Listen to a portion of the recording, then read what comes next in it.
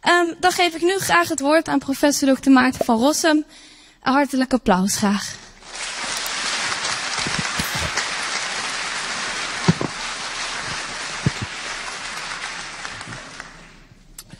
Eh, dank u wel. Ja, u zei alsmaar professor, maar daar ben ik niet meer. Want vijf jaar na je pensioen verlies je alle rechten en plichten aan dat ambt verbonden. En ik zit sinds 1 oktober precies ruim vijf jaar na mijn pensioen. Dus ik ben alle rechten en plichten van dat ambt heb ik verloren. Hoewel het me nooit helemaal duidelijk is geworden welke rechten er aan verbonden zijn. En de plichten is me ook niet helemaal duidelijk geworden. Maar ik zeg het er maar bij, dus u moet het niet maar niet meer zeggen. U kunt eventueel nog dokter zeggen, maar dat is erg Duitserig. Hè? Her dokter zus en her dokter zo. In Nederland doen wij zo gewoon mogelijk. Feitelijk ben ik gewoon een bijklussende AOW'er. Dat geeft de werkelijkheid eigenlijk scherper weer dan, dan al dat academische gedoe. Eh, wat u erbij opgeteld heeft. Um, ja, u heeft het aangekondigd als 500 jaar geschiedenis en hoe wij zo, zo welvarend zijn geworden. Dat we hier bij elkaar zitten bij elektrisch licht en, en dat u zonder al te grote ongelukken hier bent gekomen met het openbaar vervoer. Hoewel dat eh, langzamerhand dubieuzer is geworden dan 50 jaar geleden. Of dat ook in orde komt, eh, dat ga ik verklaren. Um, en dat doe ik eigenlijk aan de hand van de stoommachine, want daar begint het mee. Daar gaat dat boekje ook over. Ik hou het nog maar even op. Ja, de commercie wil ook wat. Daarom begon ik over dat bijklussen.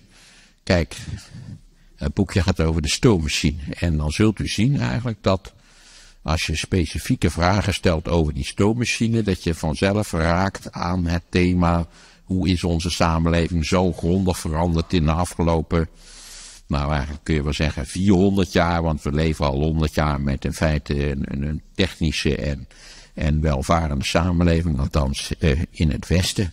Hoe is dat gekomen? En dat, als je je afvraagt waarom is de stoommachine daar uitgevonden, op die plek en op dat moment, en hoe kon het zover komen, dan zult u zien dat je geleidelijk aan erachter komt dat je rond 1500 moet beginnen. Rond 1500 is dat enorme veranderingsproces begonnen wat ons tenslotte in dit zaaltje heeft gebracht. Wat op zichzelf eh, qua stenen ouder is volgens mij dan is de kapittelzaal van de Domkerk. Ouder is dan die 500 jaar. Maar u mag bijzien dat u er nu zit en niet toen het net gebouwd werd, want dan had u het hartstikke koud gehad en het was helemaal niet aangenaam geweest. En die was misschien door straatrovers overvallen. Eh, eh, op weg hier naartoe. Eh, en bovendien had u misschien een kaakabsces gehad waar u spoedig dood aan zou gaan. Of u had TBC gehad die ongeneeslijk was. Of u was overdekt met zweren. Of u had lepra gekregen. Of nou ja, al die lollige dingen waar mensen vroeger uh, relatief snel dood aan gingen. Hoewel als je alles overleefde dan kon je ook vroeger is ook weer 20 free score en 10 years. Kon je ook vroeger 70 worden. Daar heeft de Bijbel het ook over. Ik heb het nu vorige week gehaald en het gaf mij toch wel een zekere bijbelsgevoel van. Hè, zover heb ik het gebracht. Hoewel je een Grieks spreekwoord had, zij die de lief liefhebben nemen zij jong tot zich. Ja, wat dat betreft is dat dan weer een tegenvallen natuurlijk. Hè. Ja, dus ik begin met de stoommachine. En dat zal her en der ook kleine technische explicaties vergen. Ik hoop dat u dan op blijft letten. Ik sprak vanmiddag iemand, wiens naam ik niet zal noemen, maar die had het boekje al gelezen. En in het boekje zeg ik steeds, uh, kijk even op de Wikipedia, want daar heb je hele leuke bewegende schema's waar je aan kunt zien hoe een stoommachine werkt. En dat is echt, dat, dat geeft je een veel helderder inzicht want de meeste van u zijn waarschijnlijk alfa's. Moet ik eigenlijk even onderzoeken. En u weet, alfa's zijn in het algemeen zelfs niet in staat om te begrijpen hoe een kraan werkt. Dus laat staan hoe een stoommachine werkt. Want in feite begrijpen alfa's helemaal niets. We komen daar nog dadelijk nader en ook kritisch en verwijtend over te spreken. Dat zal u duidelijk zijn. En ik geef ook, nou, ik geef je kunt bij, bij degene, bij de uitvinder van een stoommachine, kun je even naar dat leuke schemaatje. Het is ook in kleur, helemaal fantastisch mooi. Dus je, en ik verwijs ook naar het planeetwielmechanisme. Maar even, wie zijn er hier Bertha's in de zaal? Oh, er zijn we... nee. Dat valt me mee. er is geval een deel van het publiek wat alles zal begrijpen. Hier, hoe, hoe is het hier met alfa's en beta's? Oké, oh, dat is zo. Nou, nou, het valt me echt 100% mee. Ja, je hoort altijd dat er tekort aan beta's is, maar hier dus kennelijk niet. Als het trouwens waar zou zijn dat er een enorm tekort aan beta is, dan zouden de salarissen in die sector veel hoger moeten zijn dan ze daadwerkelijk zijn. Als er tenminste überhaupt sprake is van vraag- en aanbodmechanisme natuurlijk. Heeft u daar wel eens over nagedacht? Want als u, als u echt, als u bij het begin van de studie, ja de meesten zijn hier natuurlijk al voorbij het begin van de studie zo te zien. Maar als u aan het begin van de studie zou staan en, en u zou denken, hoe moet ik zoveel mogelijk geld verdienen? Dan moet u dus niet in, dan moet u niet chemicus worden of natuurkundige of wiskundige. Dan moet u in feite fiscaal jurist worden.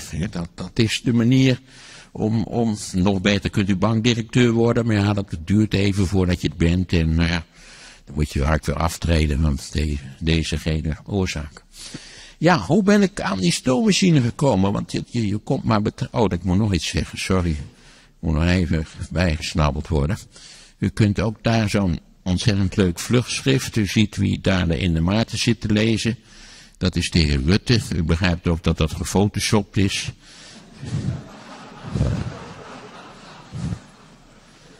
Ja, ik zie hem er niet vooraan, eerlijk gezegd. Het lijkt me geen lezer, maar daar kan ik me in vergissen.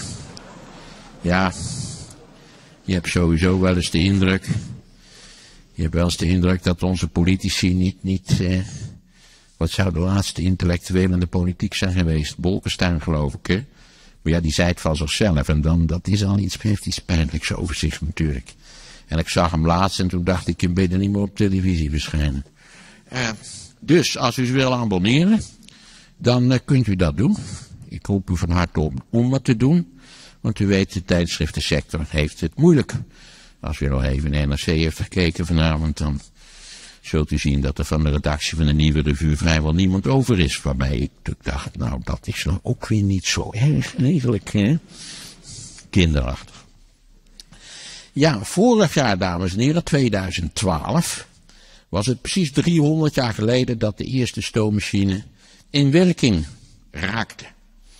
Eh, dat was een uitvinding van, eh, nou ja, uitvinding, ook dat is een heel lastig concept, uitvinding, want dat is eigenlijk een beetje het idee, er is eerst niks.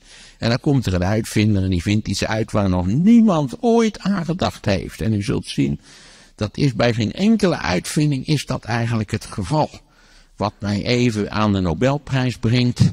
Ja, u moet weten, ik heb gehoord dat vroeger moest ik me altijd beperken, omdat die hele zaak die moest op een cd'tje passen. Maar nu doen ze dat niet meer.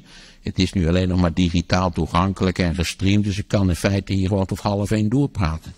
Ja, mocht u ondertussen even naar de wc willen, als u dat, als u tenminste niet helemaal aan het eind van de rij zit en u houdt zich een beetje rustig, dan heb ik daar geen bezwaar tegen.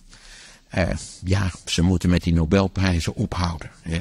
Dat is heel, heel onrechtvaardig dat daar één, twee of drie mensen maximaal, zoals u weet, en ze mogen ook niet dood zijn, dat is ook zo wat. dus als je, als je niet aan de beurt komt, dan heb je een kans dat je een mega ontdekking doet en dat ze pas op het idee komen om u een Nobelprijs te geven als u dood bent. Laatst heeft er zo'n enorm leuk incident voorgedaan dat ze hadden hem uitgedeeld en die man bleek net dood op de dag dat ze hem uitgedeeld hadden. En toen ja, zaten ze natuurlijk met een probleem. Mocht je dan wel of niet? En die hebben ze dan weer wel gegeven. Dus mocht u in dit uh, mijnenveld verstrikt raken, als u dood wilt gaan, doe het dan op de dag dat u de Nobelprijs krijgt. Krijgt u hem toch nog als dode.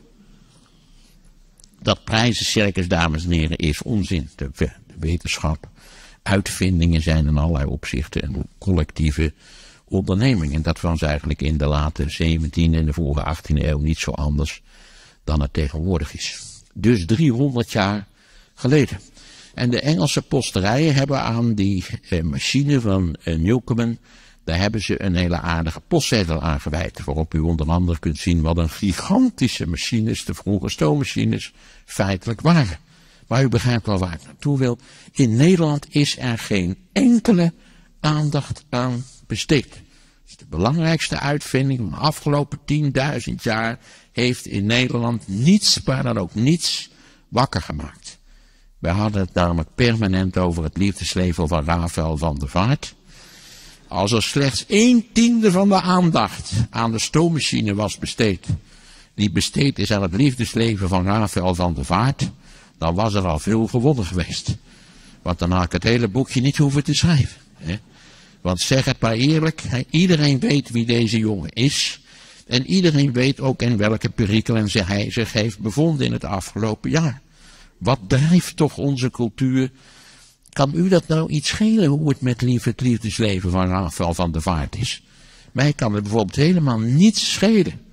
Als ik zou lezen dat hij zich met alle vrouwen waarmee hij ooit iets heeft gehad, collectief verzopen heeft in het ei, dan zou ik zeggen, nou, ik vind het een eigenaardige gang van zaken, maar echt bezwaar heb ik er niet tegen.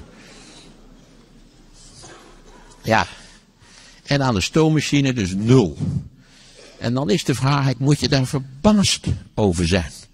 Want ja, het is natuurlijk voor de hand die zeggen, oh wat ben ik verbaasd dat. Maar eigenlijk was ik natuurlijk helemaal niet verbaasd dat. Hè? Omdat het in onze cultuur, die volledig gefundeerd is op wetenschappelijke inzichten en de technische vindingen die nou weer rusten op die wetenschappelijke inzichten, die cultuur heeft geen enkele interesse in die wetenschappelijke inzichten. En die cultuur heeft ook nul interesse in de vraag hoe die apparaten werken die het gevolg zijn van de wetenschappelijke inzichten. Waarvan we zullen zien in mijn verhaal hoe die stap voor stap, althans in hun simpele vormen, zich hebben ontwikkeld. Dat is een van de grote paradoxen van onze cultuur, dat onze media slechts in zeer beperkte mate aandacht hebben voor datgene wat werkelijk voor ons van fundamenteel belang is. Maar dat komt, denk ik toch, omdat veel mensen in de media alfa's zijn, waardoor ze al meteen denken, nou dat begrijp ik niet, dat begin ik niet aan. Allemaal flauwekul. Ja. Het doet mij toch altijd denken aan die enorm slappe grap, die ik al vaak verteld heb, en die ik toch bijzonder aardig vind. Van die twee Amerikaanse dames die in een kever door het Amerikaanse land rijden. En dan houdt hij ermee op. Overigens niet specifiek keverachtig, maar het idee het heel goed. En ja, ze staan langs de weg met hun kapotte kever. En dan die ene mevrouw die achterstuur zit, stapt uit en doet de motorkap open voor. En die roept tegen die andere mevrouw, zeg, ik dacht het al, er zit helemaal geen motor in.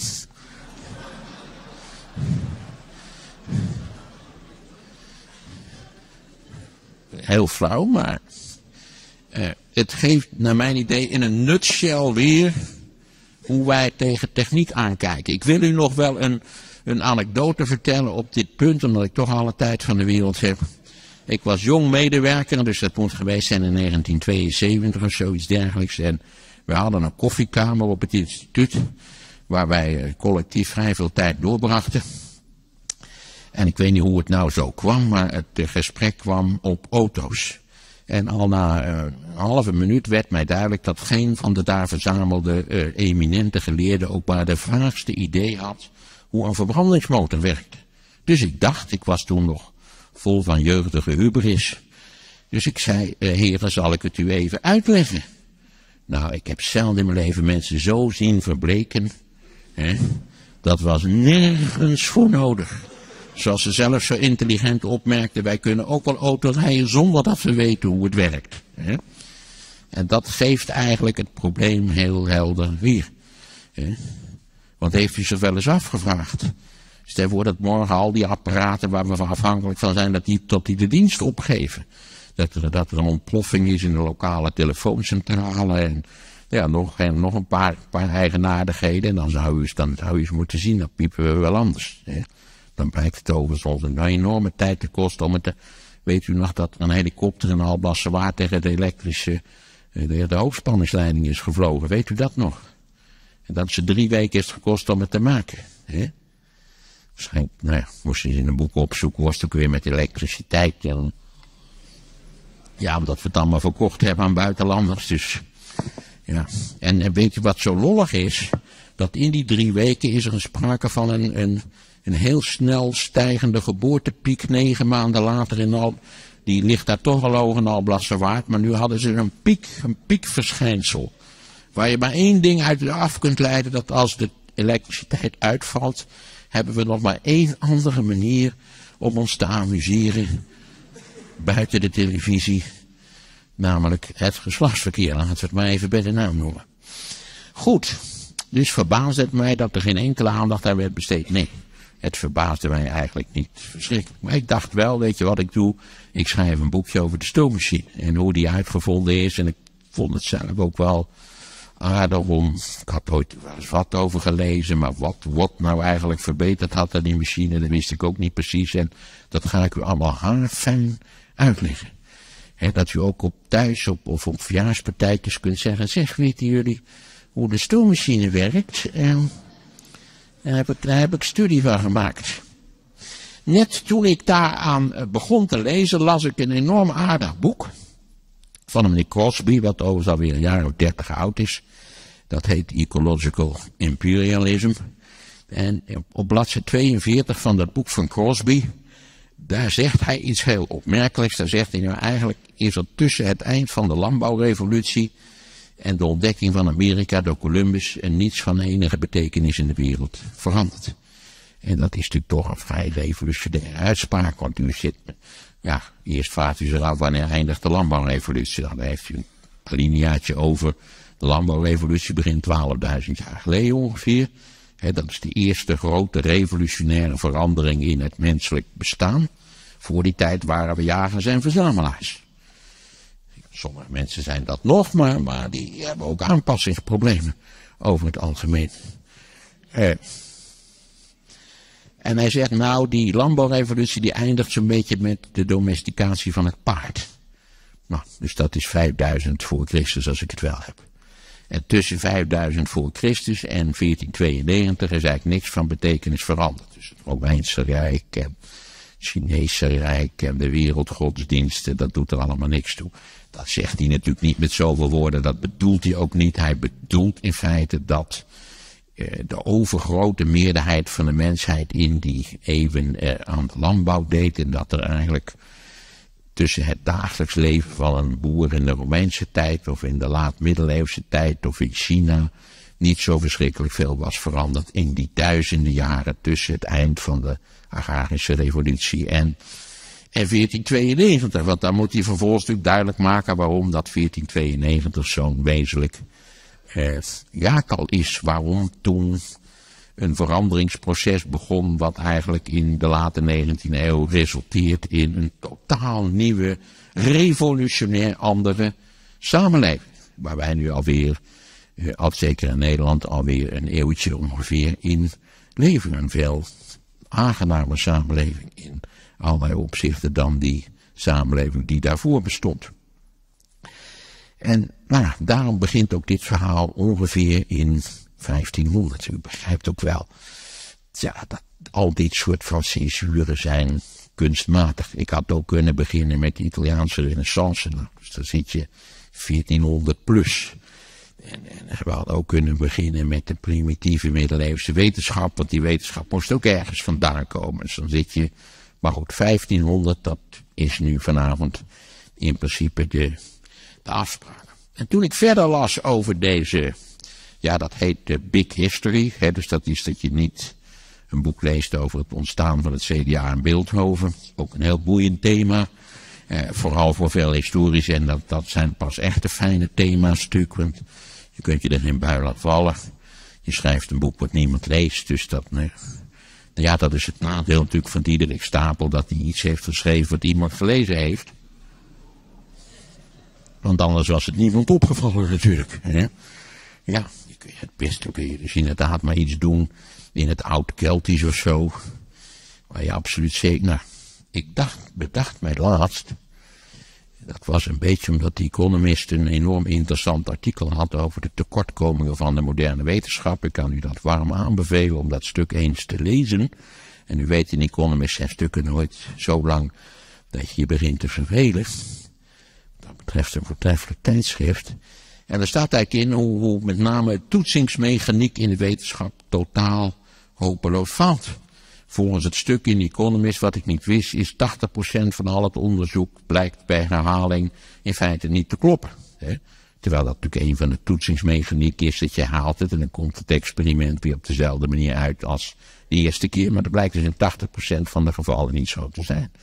En toen dacht ik eigenlijk ineens, Eigenlijk is het zo dat de toetsings, toetsingsmechaniek, als je iets zegt in de publieke ruimte, veel sneller en effectiever werkt dan in grote delen van de wetenschap, waar de meeste mensen helemaal niet lezen wat er eigenlijk geproduceerd wordt. met name in de hand van de programmawetenschap worden er een enorme massa dingen gepubliceerd die nooit iemand leest. Nou, misschien de moeder van, van de schrijver, maar zelfs dat is twijfelachtig. Dat is voor veel wetenschappers altijd een bittere teleurstelling. Hebben ze eindelijk iets geschreven en dan begrijpt hun moeder het niet. Ja, ik had mijn moeder mijn dissertatie cadeau gedaan. En ik denk natuurlijk na een paar maanden dacht ik, ik heb er niet naar gevraagd. Want ik ben echt een tacticus. En je kunt aan de bannenkaft zien hoe ver mensen gekomen zijn met het lezen. Vooral bij paperbacks kun je dat heel goed zien. En ze was niet ver gekomen. Ook niet erg hoor. Dat heeft haar dagelijks leven niet ingrijpend beïnvloed kan ik u verzekeren. Uh, ja, wat merkte ik toen ik, toen ik ging lezen over die Big History?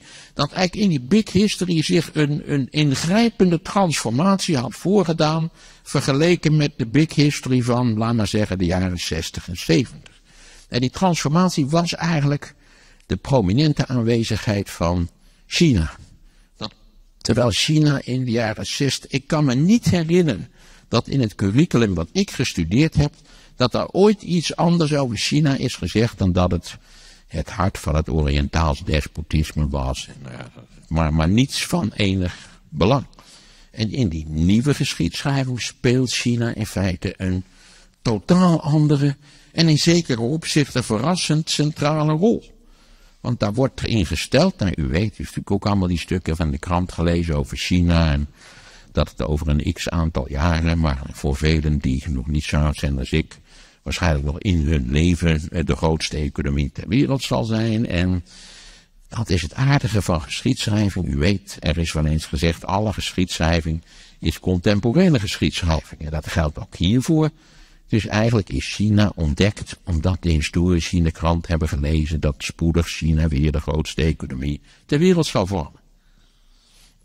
Want wat blijkt, als je teruggaat in het verleden, is dat China eigenlijk, eh, er zijn altijd veel meer Chinezen geweest dan Europeanen.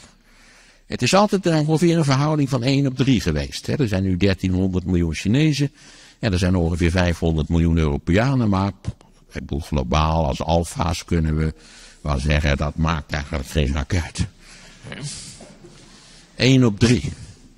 En de vraag is al, je zult zeggen, hoe komt het dat er altijd veel meer Chinezen zijn geweest dan Europeanen? Waar zit in dat in hemelsnaam in? Dat zit in het feit dat ze in China een gewas hebben, wat je bij, als je er attent voor zorgt en als je een hoop mensen hebt, het is een soort van cirkelredenering, dan levert dat gewas veel meer op dan de gewassen in Europa. Wat hebben wij? Tarwe, rogge, stiers, weet ik veel. En wat hadden ze in China? Hadden ze rijst. En onder gunstige omstandigheden, zeker subtropisch, kun je drie keer per jaar rijst oogsten. En dat betekent, nou, tel het maar uit, drie keer. Er zijn ongeveer drie keer zoveel Chinezen. Ja, het moet eens even. Uh, het is een klein stapje, maar voor veel Chinezen toch een flinke stap. Zo zit het ongeveer. En als je terugrekent in de tijd, zul je zien dat China tot ongeveer 1800 verreweg de grootste economie ter wereld was. En daar zeiden we altijd van, ja, maar dat is volkomen achterlijk, de Chinezen. En helft van die Chinezen heeft de hele dag honger, maar dat blijkt helemaal niet. Eigenlijk was het met China vrij gunstig gesteld. Het zal u niet veel zeggen, maar in het jaar 2000 verscheen er een boek dat heet The Great Divergence en dat is geschreven door een Amerikaanse historicus genaamd Pomerance.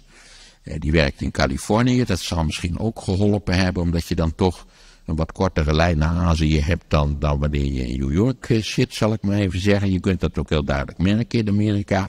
En dat, de, de stelling van die Great Divergence is eigenlijk eh, dat China tot 1800 helemaal niet achterliep op Europa integendeel in allerlei opzichten het beter deed dan Europa. En dat de Great Divergence, de grote scheiding tussen die twee continenten in hun sociaal-economische en technische ontwikkeling zich pas voordeed in de 19e eeuw. En sommige van die pro-China-lui, die, dat zijn echte dwepers, die zeggen met zoveel woorden, ach die Europeanen, Dat zijn vuile imperialistische veroveraars, moordzuchtige types, die de wereld halverwege naar de verdommenis hebben geholpen. Maar die Chinezen eigenlijk, eigenlijk had de industriële revolutie zich in China af moeten spelen. Want als je, en dat, als je kijkt naar de inventiviteit van de Chinese cultuur rond 1100, het is ook wel eens geschreven als de marsmannetjes, ja, weet, ze zijn er niet, maar dat we toch al die inspanningen ons troosten om op Mars dan leven te vinden. wat, wat, wat maakt dat nou uit eigenlijk? Dat we daar bacteriën, dat zullen we niet vinden, maar de way, daar durf ik wel een wetje over te maken met u. Maar zouden we niet heel andere dingen, we zijn alsmaar op zoek naar iets wat er niet is. Namelijk, namelijk collega's. Hè? We voelen ons eenzaam in het universum. Hè? We zouden het heerlijk vinden als, als ons plotseling een signaal bereikte eh, uit, uit, nou ja, wat is de dichtstbijzijnde zon, de Gliese 81 of zoiets dergelijks, dat ze daar ook een raadvel van de vaart hebben. Dat zou een schok zijn. Ja. Stel voor dat er, dat er buitenaards leven is van, van, van intelligente aard. Hoe denkt u dat dat eh, zou aflopen als ze zo bij ons bezoek zouden komen? Afzien van het feit dat ze ook door Obama zouden worden afgeluisterd, maar... Ja, denkt u dat het, dat het, vreedzaam zou verlopen, de contacten? Wat, wat, uh, hoe zijn de contacten verlopen toen wij, ik kom er nog uitgebreid over te spreken, maar toen wij eh, Amerika ontdekten? Hoe is het toen afgelopen met de daar aanwezige lokale bevolking? Slecht. Ja, ik vat het maar even kort samen. En het was ook al heel slecht afgelopen met de bevolking van de Azoren en al die andere plekken waar wij verschenen. West-Europeanen. En nu denkt u dus dat dus aliens met, met een superieure technologie hier komen en zeggen, goh, schatten van een leuke cultuur en, wat is dat fijn, we maken er een vakantieoord van. Hè? We roeien de helft uit en dan maken we er nou, ja, ik, ik geloof dat ik, ik ben niet de eerste die dit bedacht heeft. Ik geloof dat Hawking ook heeft gezegd, laten we bidden hè, dat ze er niet zijn. En als er zijn, dat ze niet op bezoek komen. Want de kans dat ze zullen zeggen, goh, wat is dat lollig van een is buitengewoon klein. Ja, en de Chinezen waren enorm inventief. Die hadden een omvangrijke ijzerindustrie in 1100 en een deels gemechaniseerde textielindustrie. Het, het is een, als, je, als je erover leest, denk je, hoe is het mogelijk dat ze de laatste stap niet gezet hebben? Maar ze hebben de laatste stap niet gezet. Ze hebben de paraplu uitgevonden. Ze hebben het kompas uitgevonden. Ze hebben het buskruid uitgevonden. Maar bij dat buskruid is het al iets wat deden de Chinezen met buskruid? Vuurwerk maken. Hè? En, en, dat doen wij ook wel. Maar, maar wij, wij waren toch een stuk effectiever met, wat je, met de narigheid die je met een buskruid uit kon halen. Hè? De Chinezen ontwikkelen wel geschut, maar alsof hun, hun ziel er niet in ligt. En bij ons is het vanaf 1350, ligt onze ziel er volop in. In het geschut. Hè? Wij zijn, wij zijn echt kampioen ontwikkelaars, zou je kunnen zeggen. En omstreeks die tijd dat dat boek van Pommelens verscheen, u herinnert het zich vast wel, waren er plotseling allerlei berichten in kranten en tijdschriften over die, die uh, reizen die een officiële keizerlijke Chinese vloot heeft gemaakt in de Indische Oceaan in de vroege 15e eeuw. Als u zich dat nog een beetje herinnert. Ja, ik zie wel dat dat niet Anders gaat er wel zo'n ruisje door de zaal, maar u denkt, ik kan me er niets van herinneren. Wat je altijd bij die artikelen zag, was een vergelijking van de schepen van die vloot met die bootjes, met die notendopjes van Columbus. Dat waren relatief hele kleine, die zouden zo door de oude gracht hier naartoe kunnen zeilen, bij wijze van spreken, zo klein waren ze. De bruggen zouden nauwelijks ook. En vergeleken daarmee waren die Chinese schepen waren oceaanreuzen. Die technologisch ook op het hoogste niveau waren. Die hadden waterdichte schotten. Ze hadden watertanks aan boord. Het was echt de top van de technologie. Onder leiding van, ja, misschien dat u het daarom niet meer weet. Die, die admiraal, die, als je dat op zijn Nederlands uitspreekt, dan is het Zheng He. Ook geen belletje. Oh ja, Zheng He. Maar als je het op zijn Chinees hebt, ik, ik heb het nagevraagd. Je wilt niet zo'n stom indruk maken als die journaallezers die alles verkeerd uitspreken. Dus je moet in het Chinees zeggen Guang Ge, geloof ik. Of Gung Ge. Zoiets. Gung Ge doet ook geen belletje rinkelen. Nee. Het is wat. Ja. Dus eigenlijk zegt men, had het daar moeten gebeuren. De Chinezen waren verder. De Chinezen waren beter. De Chinezen waren inventiever. En daarom heet dat boekje waarom de stoommachine geen Chinese uitvinding is. Daarom is dat eigenlijk. Omdat mij dat nogal behoorlijk begon te irriteren als Europees chauvinist. Ik dacht, ja kom nou, tot 1800 op hetzelfde niveau dan is het niet mogelijk dat, we komen erover te spreken, in de Eerste Opiumoorlog de, de Chinezen een verpletterende nederlaag leiden in no time tegen de Engelsen. Die voorsprong, die technische voorsprong van de Europeanen, die begint eigenlijk als Ge ermee ophoudt. Want de keizer was helemaal niet tevreden over die reizen. Want Ge had, ja, ik weet, ben nu een beetje kwijt wat de juiste uitspraak is. Niet iemand in de zaal die Chinees spreekt die gauw en zo, eh, ook niet. Je zou toch zeggen bij zo'n opkomende economie, binnenkort de grootste economie ter wereld, dat iedereen zich op het leren van Chinees stort. Hè? Maar nee, dat doet u op gewoon dat u hoopt gewoon dat de iPhone het zelf vertaalt, bij wijze van spreken. En dat zal zeker niet lang duren. Um, ja, gewoon Ge had, een, had uit Afrika een giraf meegenomen voor de keizer. En nou ja, de keizer vond dat wel een lollig beest, maar hij vond het toch al met al niet de moeite waard geweest. En zo hebben ze die reis in feite stopgezet. Als je die vloot ziet, of als je daar plaatjes van ziet, en je ziet, dan begrijpt u eigenlijk ook iets anders. Stel voor dat Geur naar de andere kant gezeild was, wat hij makkelijk had kunnen doen. Dan had hij Zuid- en Noord- en Zuid-Amerika ontdekt. Stel voor dat hij Afrika gerond had, wat ook mogelijk was geweest, technisch, why not? dan was Ge met die reuzenvloot in de haven van Antwerpen verschenen.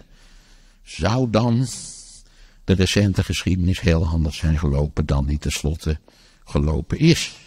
En dan ziet een, een wonderlijk aspect in die Chinese cultuur, dat die Chinezen een beetje genoeg aan zichzelf hadden. Dat zij alles wel hadden, we zullen dat tot thema ook zien.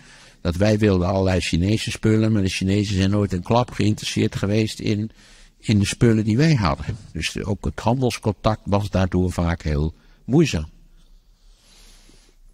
Goed, maar als u er even over nadenkt, zult u begrijpen dat de technische ontwikkeling die Engeland in 1830 superieur maakte aan China, dat die natuurlijk veel veel eerder is begonnen. En dat die in feite wortelt in wat misschien wel de meest unieke West-Europese prestatie geweest is, namelijk de wetenschappelijke revolutie. Het feit dat mensen heel nieuwsgierig waren naar hoe de werkelijkheid in elkaar stak. En langs experimentele weg erachter probeerden te komen hoe, hoe die in elkaar stak. En we zullen zien dat daar zonder ook de stoommachine niet zou zijn ontdekt. Het is eigenlijk die, die wetenschappelijke en technische ontwikkeling van West-Europa tussen, nou ja, ergens halverwege de 16e eeuw en, en de vroege 19e eeuw die ervoor gezorgd heeft dat wij zo ontzettend welvarend zijn geworden en dat in feite ons voorbeeld eh, overal in de wereld wordt nagevolgd tot op de dag van vandaag. Goed, nu dan naar die stoommachine. Op 14 juni 1699, in de 17e eeuw nog, demonstreerde ene Thomas Savery een machine die hij had uitgevonden tijdens een, een soort zitting van de Royal Society in Londen. De Royal Society was toen een van de allerbelangrijkste wetenschappelijke organisaties. En die organiseerde ook allerlei experimentele bijeenkomsten. Als je zelf een lollige ontdekking deed, dan kon je dat ook corresponderen met de Royal Society. Denkt u aan onze microscopist eh, Anthony van Leeuwenhoek, die ook correspondeerde met de Royal Society. Op die machine had Severy al het jaar daarvoor, 1698, een patent aangevraagd. En feitelijk ging het daarbij om een pomp. En hoe werkte die pomp van Thomas Savery?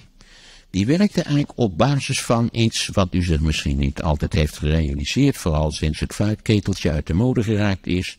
Namelijk dat het volume van stoom 2000 maal zo groot is als het volume van het water waarvan ze die stoom hebben gemaakt. En dat is een absoluut wezenlijk punt in de technische ontwikkeling van het wisten.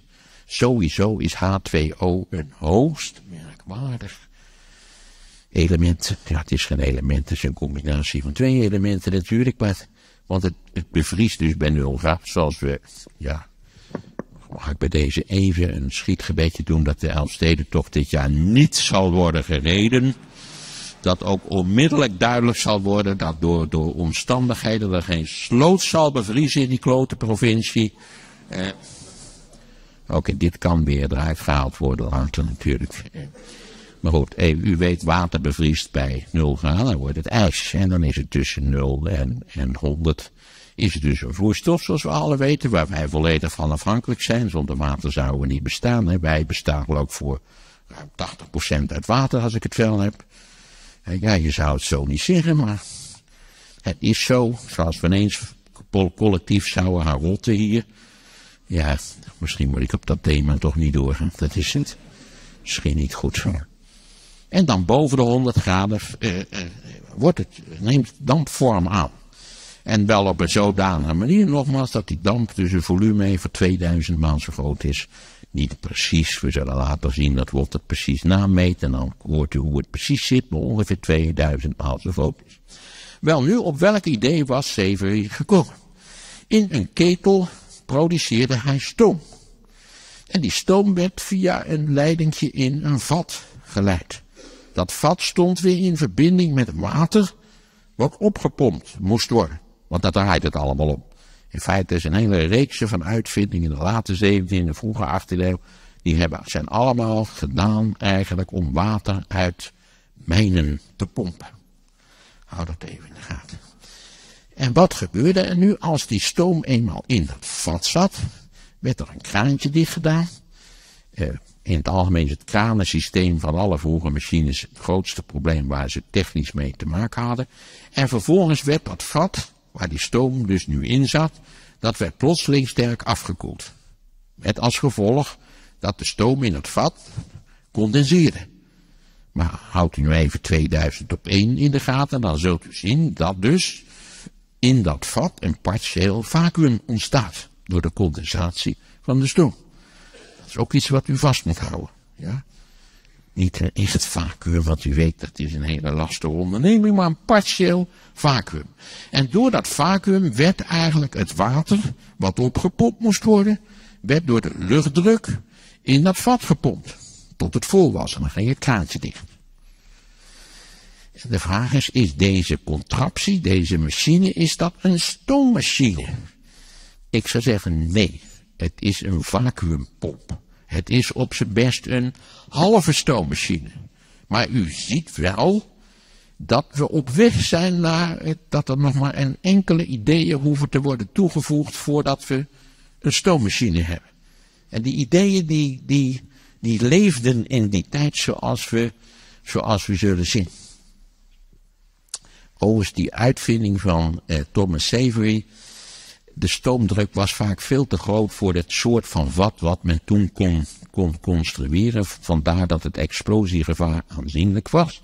En u heeft natuurlijk zelf, althans de Bertha's onder u hebben al lang bedacht dat er natuurlijk een andere beperking is, namelijk de luchtdruk. Want de luchtdruk is, inherent beperkt.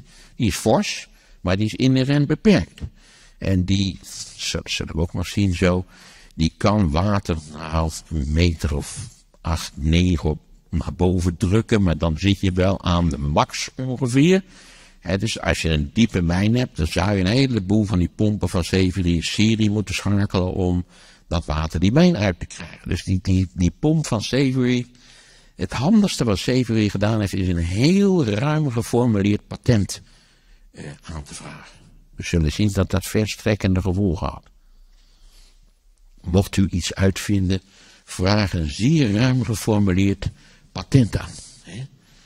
Kijk, ik geloof het was iets van een machine to, nou ja, to lift water. Zo, nou ja, dan uh, zit je altijd wel goed zo'n beetje. Ik heb nou de precieze tekst niet bij de hand, maar die kunt u in dat enorm leuke boekje even nalezen. Uh,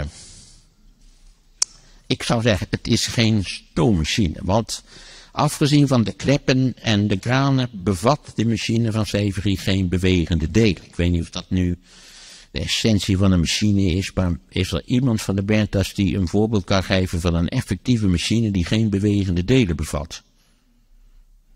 Nou, ik hoor het al. Die is het dus niet. En zo komen we dan aan de ware uitvinding. Dan moet ik wel even. Oh jee. Wanneer moet het pauzeren? Na 40 minuten of nu? Of, uh... Oké, dan pauzeren we nu uh, zo. Ja. Goed, dan komen we nu aan de uitvinding van de stoommachine. Waar eigenlijk, eh, ik zou kunnen zeggen, aan het toestel van Severin moest nog een bewegend deel worden toegevoegd. En dat is wat Thomas Newcomen deed. Hij heeft jaren met een assistent gewerkt aan het ontwerp van die machine.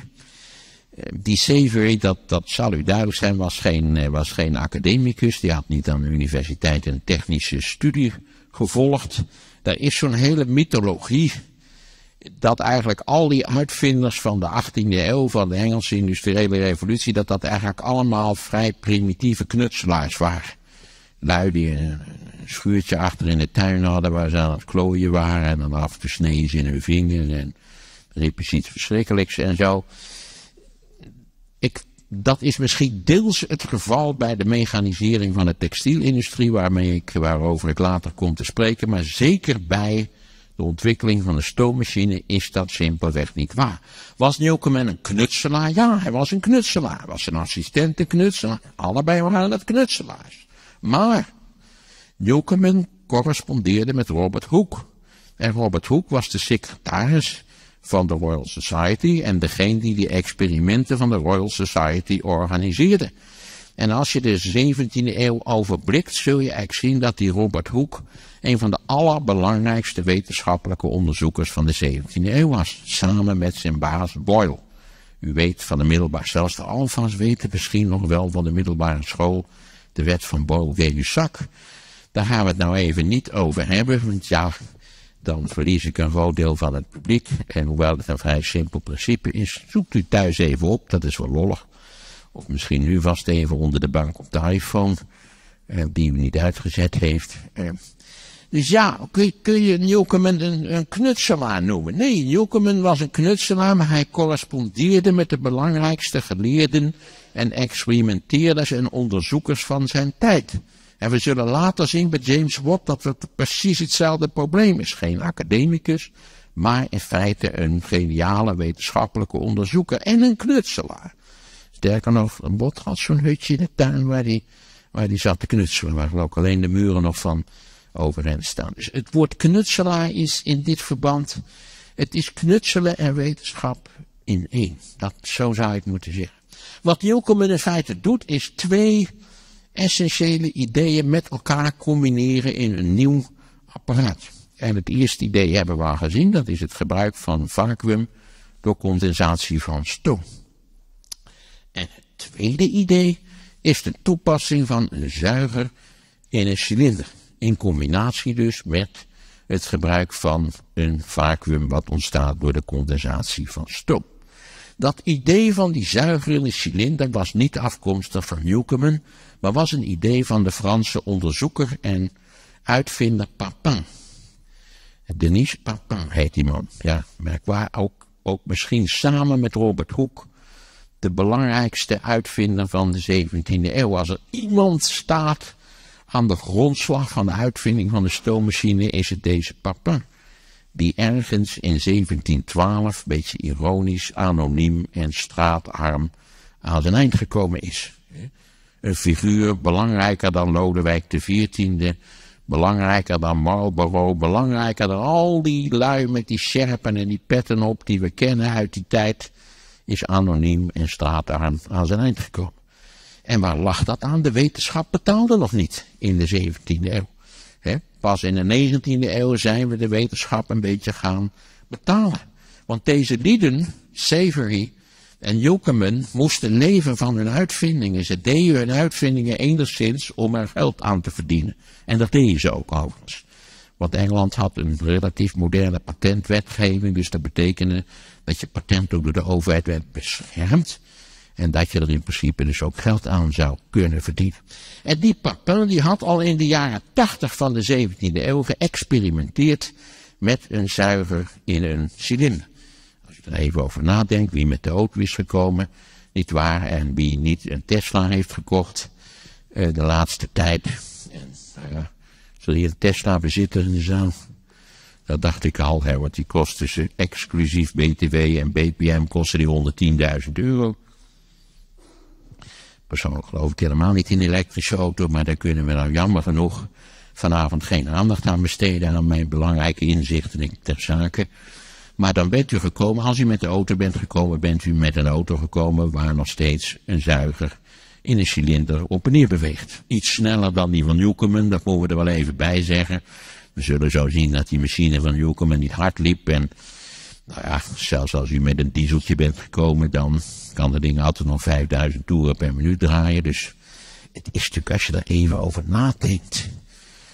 als u even, u, oh ja, misschien heeft u net als mijn collega's vroeger nooit nagedacht over die verbrandingsmotor. Maar denkt dus hoe inefficiënt het is om die zuiger enorm te versnellen. En dan stopt die bovenaan en dan komt de explosie van het gas, benzinemengsel of van de, van de diesel. Dat gaat een beetje anders, daar kom ik later ook over. Ja, krijgt een hele cursus techniek in deze vier avonden. Dat zal u nog een rauw op het lijf vallen, denk ik.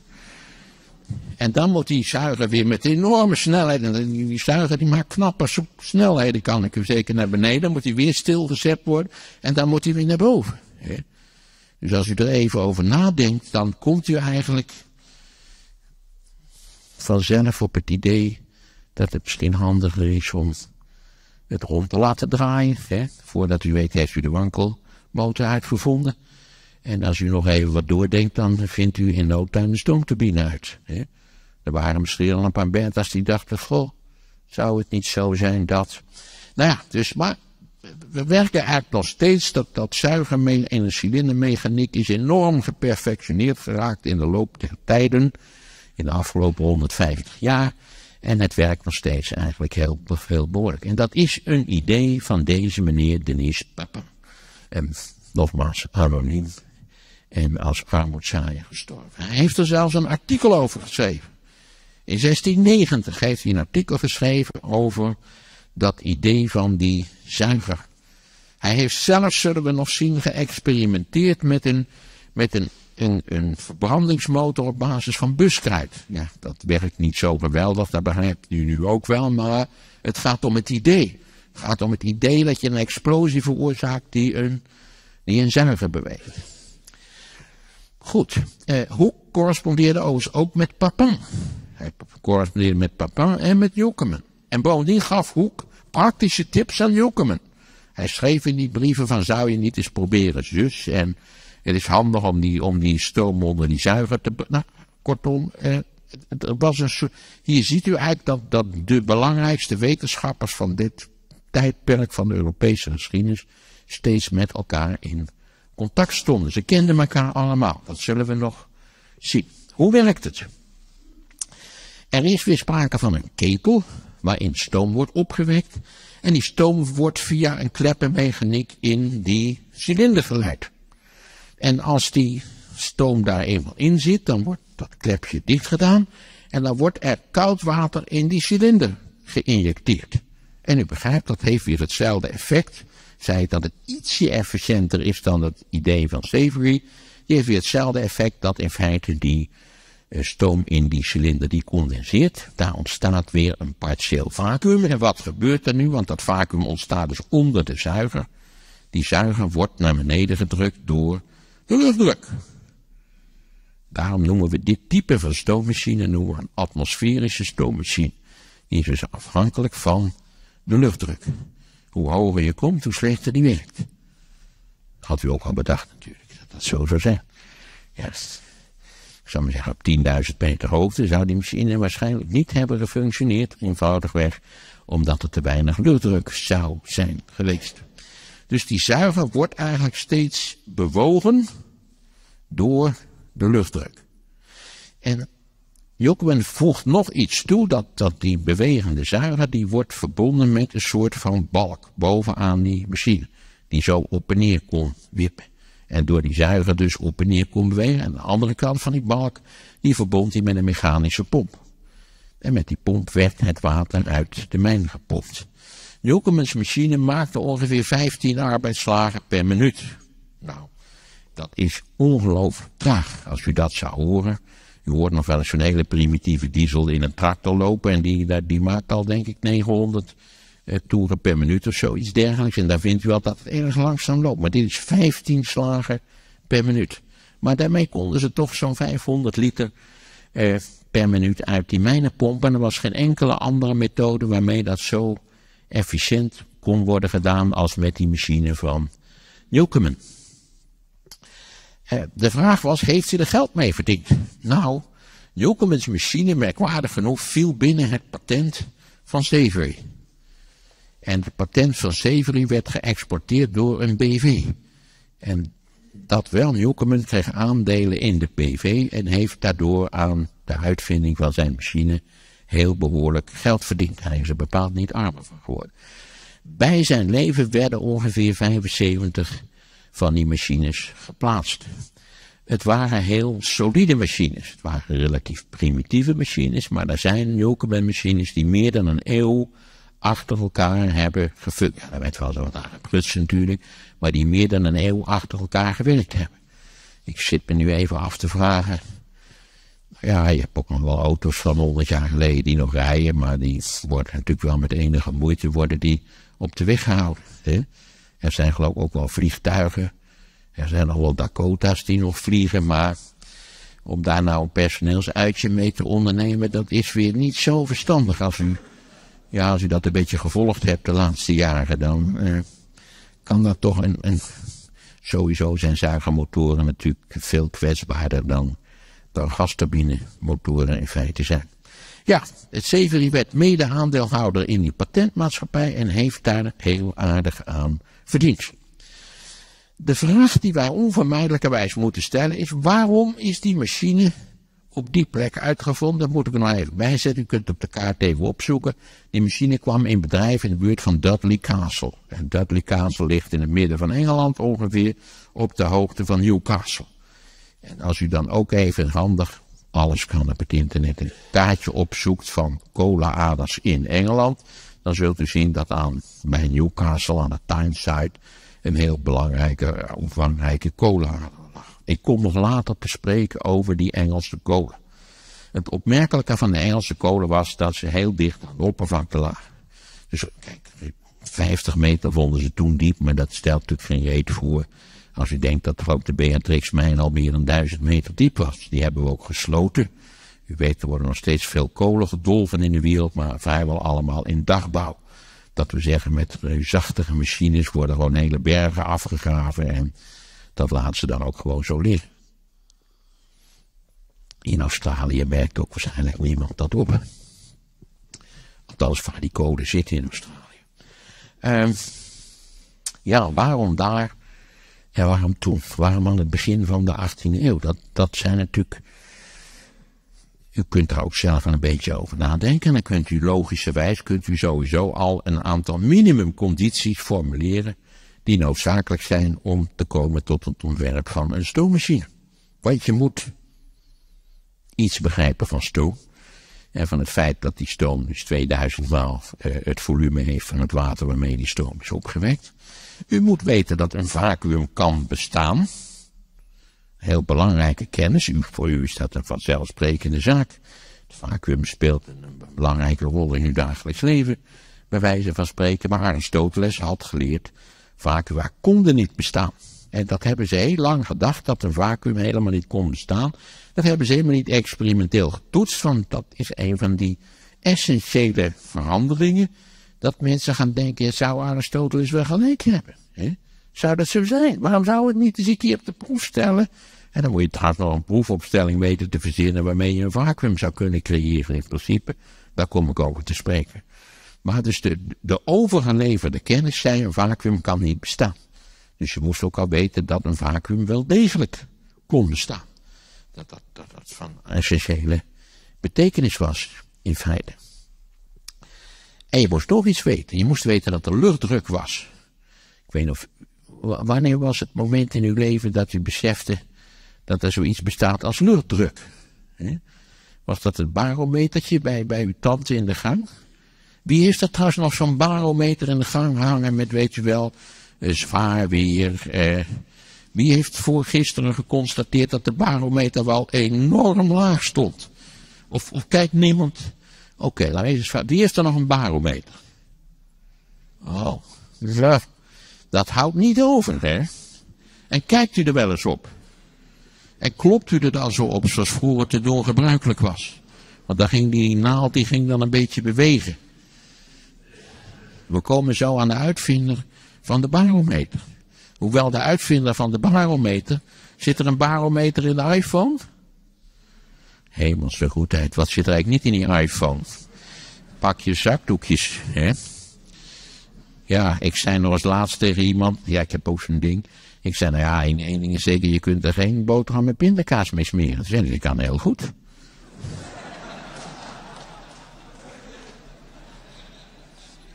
En daar zit wat in. Je moet die pindakaas wel uit die kleine gaatjes zien te krijgen, maar dit, ja, waarom niet eigenlijk? Je kunt er eigenlijk alles mee doen wat je wil.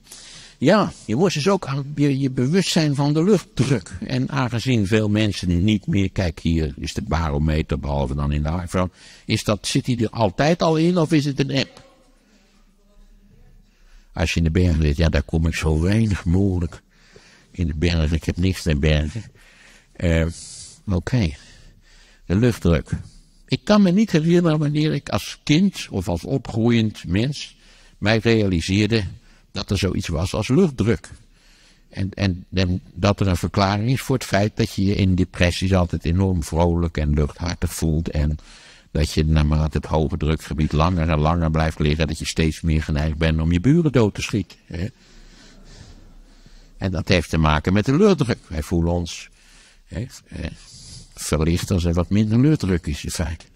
Nou, ja, ga maar in de bergen wandelen, dan ga je dat verschijnsel in principe vanzelf. En die kennis van stoom, van vacuüm en van luchtdruk, die was eigenlijk pas aanwezig, zeker in combinatie, in ongeveer 1650.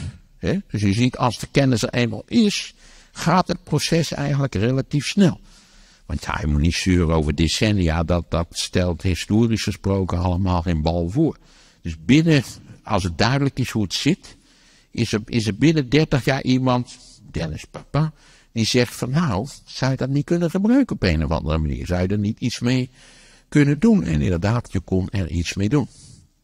En dan is de grote vraag eigenlijk van vrijwel iedereen die over deze problemen heeft geschreven, zouden wij die stoommachine gebouwd hebben als er geen kolenmijnen waren? Strikt theoretisch kunt u een stoommachine ook drijven op, op eh, van die witte blokjes, weet u wel. Die, waarmee je een speelgoedstoommachine kan laten draaien. En u kunt een stoommachine op hout. Denkt u aan die, aan die Amerikaanse locomotieven, die liepen allemaal op hout. Daar hebben ze vrijwel alle uh, grote wouden in Amerika voor omgehakt in de, in de tweede helft van de 19e eeuw. Dus je kunt een stoommachine op allerlei manieren, kan je die aandrijven. Maar de vraag is of het want waar stonden die stoommachines? Die stonden in feite bij die mijnen die ze droog moesten pompen. En die stoommachines waren extreem inefficiënt. En waren eigenlijk alleen bruikbaar op het moment dat kolen nog goedkoop zijn. Ja, want als kolen uit de mijn komen, zijn ze goedkoop. Wat maakt kolen duur? Transport. Kolen zijn zwaar en hebben een aanzienlijk volume. En dat betekent dat het transport, zeker toen, niet waar, heel snel de zou opdrijven. Dus ik ben geneigd, ik kom er later op terug, om te denken, zonder die rare Engelse kolenmijnen, die zo dicht aan de oppervlakte lagen, zou het er waarschijnlijk nooit van zijn gekomen. Enkeling van zeggen, ziet dat heeft de heren zo bedoeld. Al vraag je dan af waarom die mijnen niet in Staphorst lagen, maar wel in Engeland. Ja, dat vraag je altijd af. Hè? Ik zag, ik zag er weer meerdere grote bomen die op zo'n kerk waren gevallen. En dan denk je, met een beetje moeite had de heren dat zo kunnen sturen dat die, dat die bomen ernaast waren gevallen. Op dat ordinaire bushokje met het portret van Verlossum erin. Hè? Had ook gekund hoor.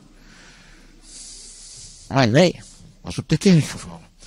Uh, ja, Hoe kwamen we aan die kennis? Hoe kwam het dat men in 1650 die kennis had? Dat hing samen met wat we noemen de wetenschappelijke revolutie.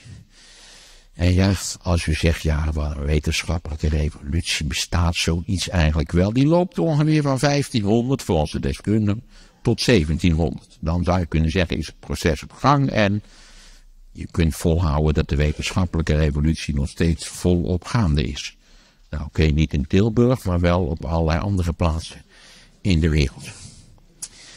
En dan zitten we met een enorm probleem, want waar komt dat vandaan? Waar, waarom is, is de, de mensheid, nou, heel algemeen geformuleerd, waarom is men in West-Europa op een goed moment zo experimenteel ingesteld geraakt? Waarom is men gaan zeggen, ja, dat zeggen ze wel, maar is het ook zo? Laten we eens onderzoeken hoe het eigenlijk zou in elkaar zou kunnen zitten. En nou ja, de oorzaken van die wetenschappelijke revolutie zijn in feite uiterst diffuus. Er zijn ook allerlei mensen, nou, er is helemaal niet zoiets. Het is eigenlijk een continu proces wat uit de middeleeuwen voortkomt en zich versnelt na 1500. Nou, mag voor mij ook, ik zit er helemaal niet mee, moet ik u zeggen. Hoewel ik het altijd een beetje flauw vind, die, dat je ook niet van de industriële revolutie mag spreken, omdat het wel 150 jaar duurt voordat de zaak een beetje op slag is. Ja, dat, kijk, revolutie is een woord wat we in context moet lezen.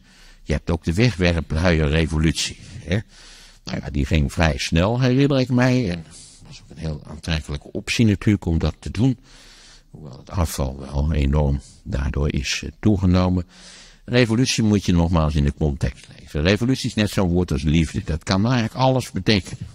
U heeft een liefde voor uw partner en u heeft een liefde voor uw iPhone en u, heeft liefde voor een regenbuitje. En nou, gaan ze maar door. Het zijn allemaal hele verschillende vormen van liefde. Dat zult u toch wel mee eens zijn. Als u tegen uw partner zou zeggen, ik hou van je als van een regenbuitje, dan zit u al heel snel met een probleem. Hè? Of u moet wel een heel poëtisch ingestelde partner hebben. Hè? En dat brengt weer andere risico's met zich mee. Ja, je moet dat heel praktisch benaderen, dat vraagstuk. Ja, we zouden kunnen denken, ik zei het al, aan de Italiaanse renaissance. Die gaat zo vanaf 1400 van start. Daar heb je ook allerlei lui. Nou ja, denkt u aan Leonardo met die aantekeningenboekje en al die halfgare uitvindingen die hij gedaan heeft. De helikopter en de tank en van alles en nog wat. Hè, wat kennelijk in zijn gedachten opkwam. Eh, er zijn andere van die, van die universele genieën die de renaissance heeft voortgebracht. Waar allemaal lui die ook een hele lol fresco schilderen en ze konden ook een, eh, een schilderij maken wat ergens op leek. En ze konden een bronzen beeld maken, hoewel de paard van Leonardo nog niet zo'n groot succes geworden is. Maar als u denkt, waar gaat het in godsnummer over? Toet straks even in het paard van Leonardo en dan zult u zien wat een boeiende geschiedenis daarvan vast zit. U kunt denken aan de ontdekking van de boekdrukkunst. Omstreeks 1450 in Mainz. Ik weet niet of hier nog mensen zijn die uit Haarlem komen. Nee, Laurens Jansson Costa heeft de boekdrukkunst niet uitgevonden. Ik zeg het er maar even bij, hij staat er nog op de Grote Markt in Haarlem. En ik vind dat we zo langzamerhand echt een bordje daarop moeten hangen. Dat dat niet klopt. Sympathieke man, maar dat is niet de boekdrukkunst. Dan is de vraag natuurlijk of Gutenberg, wiens huis nog in Mainz staat, kunt u ook gaan bekijken, of die het uitgevonden heeft. Dat weten we eigenlijk niet. Want de boekdrukkunst met losse metalen letters is veel ouder dan 1450.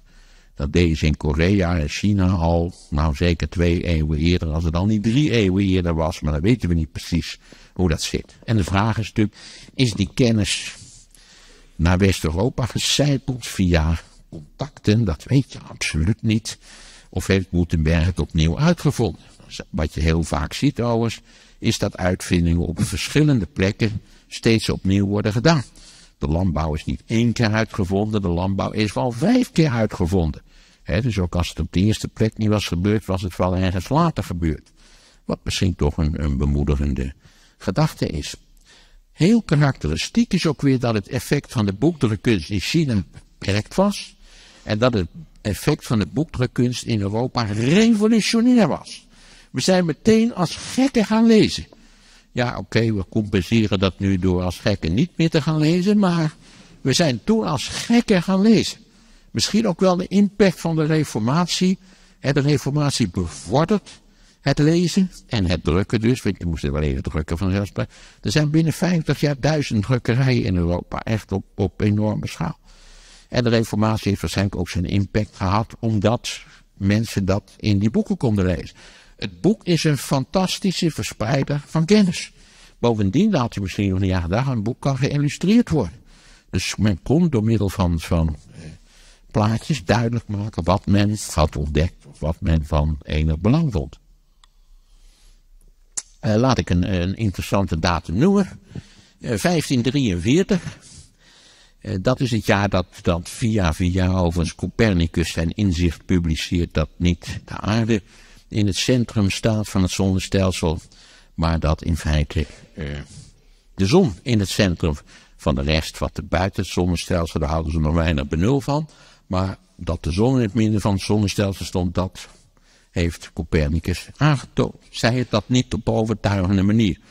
Want dat klopte van alles niet. Hij dacht daar ronde banen om de zon en het zijn ellipsoïde banen. Dus dat, daar zat allerlei haken en ogen aan, maar 1543. En ook in datzelfde jaar een publicatie van Vesalius, waarin een hele reeks van anatomische tekeningen van het menselijk lichaam werden getoond.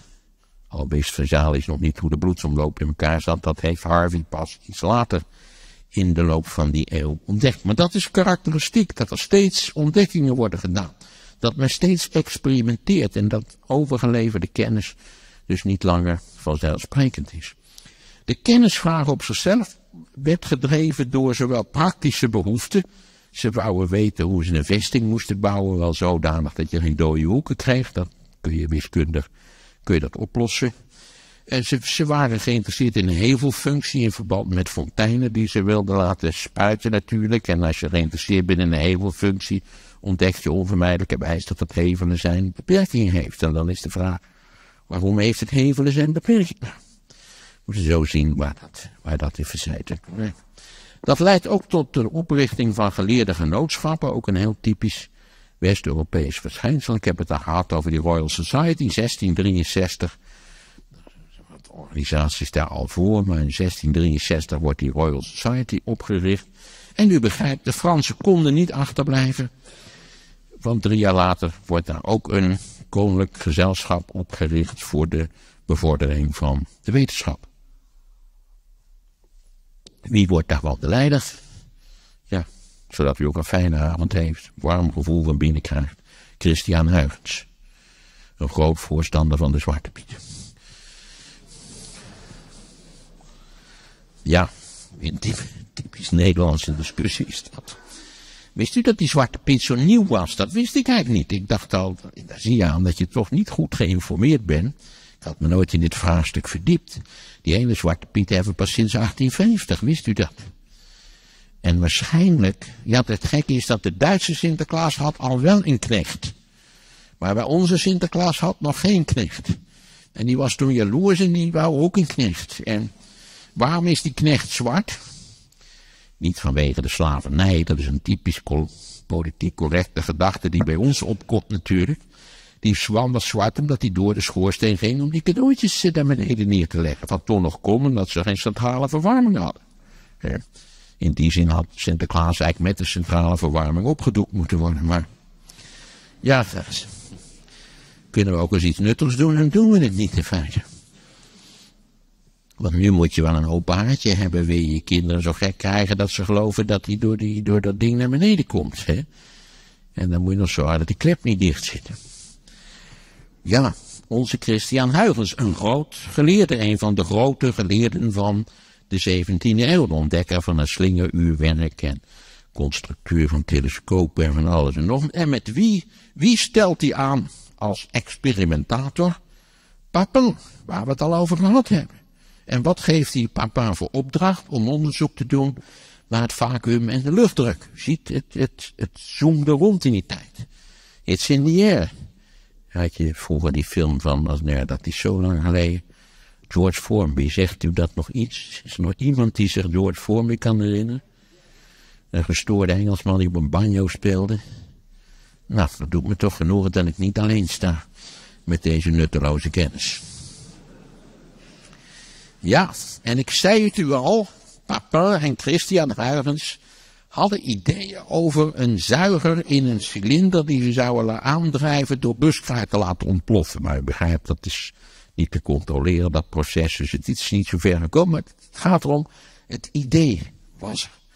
Het idee van een zuiger in een cilinder. Een absoluut wezenlijk idee.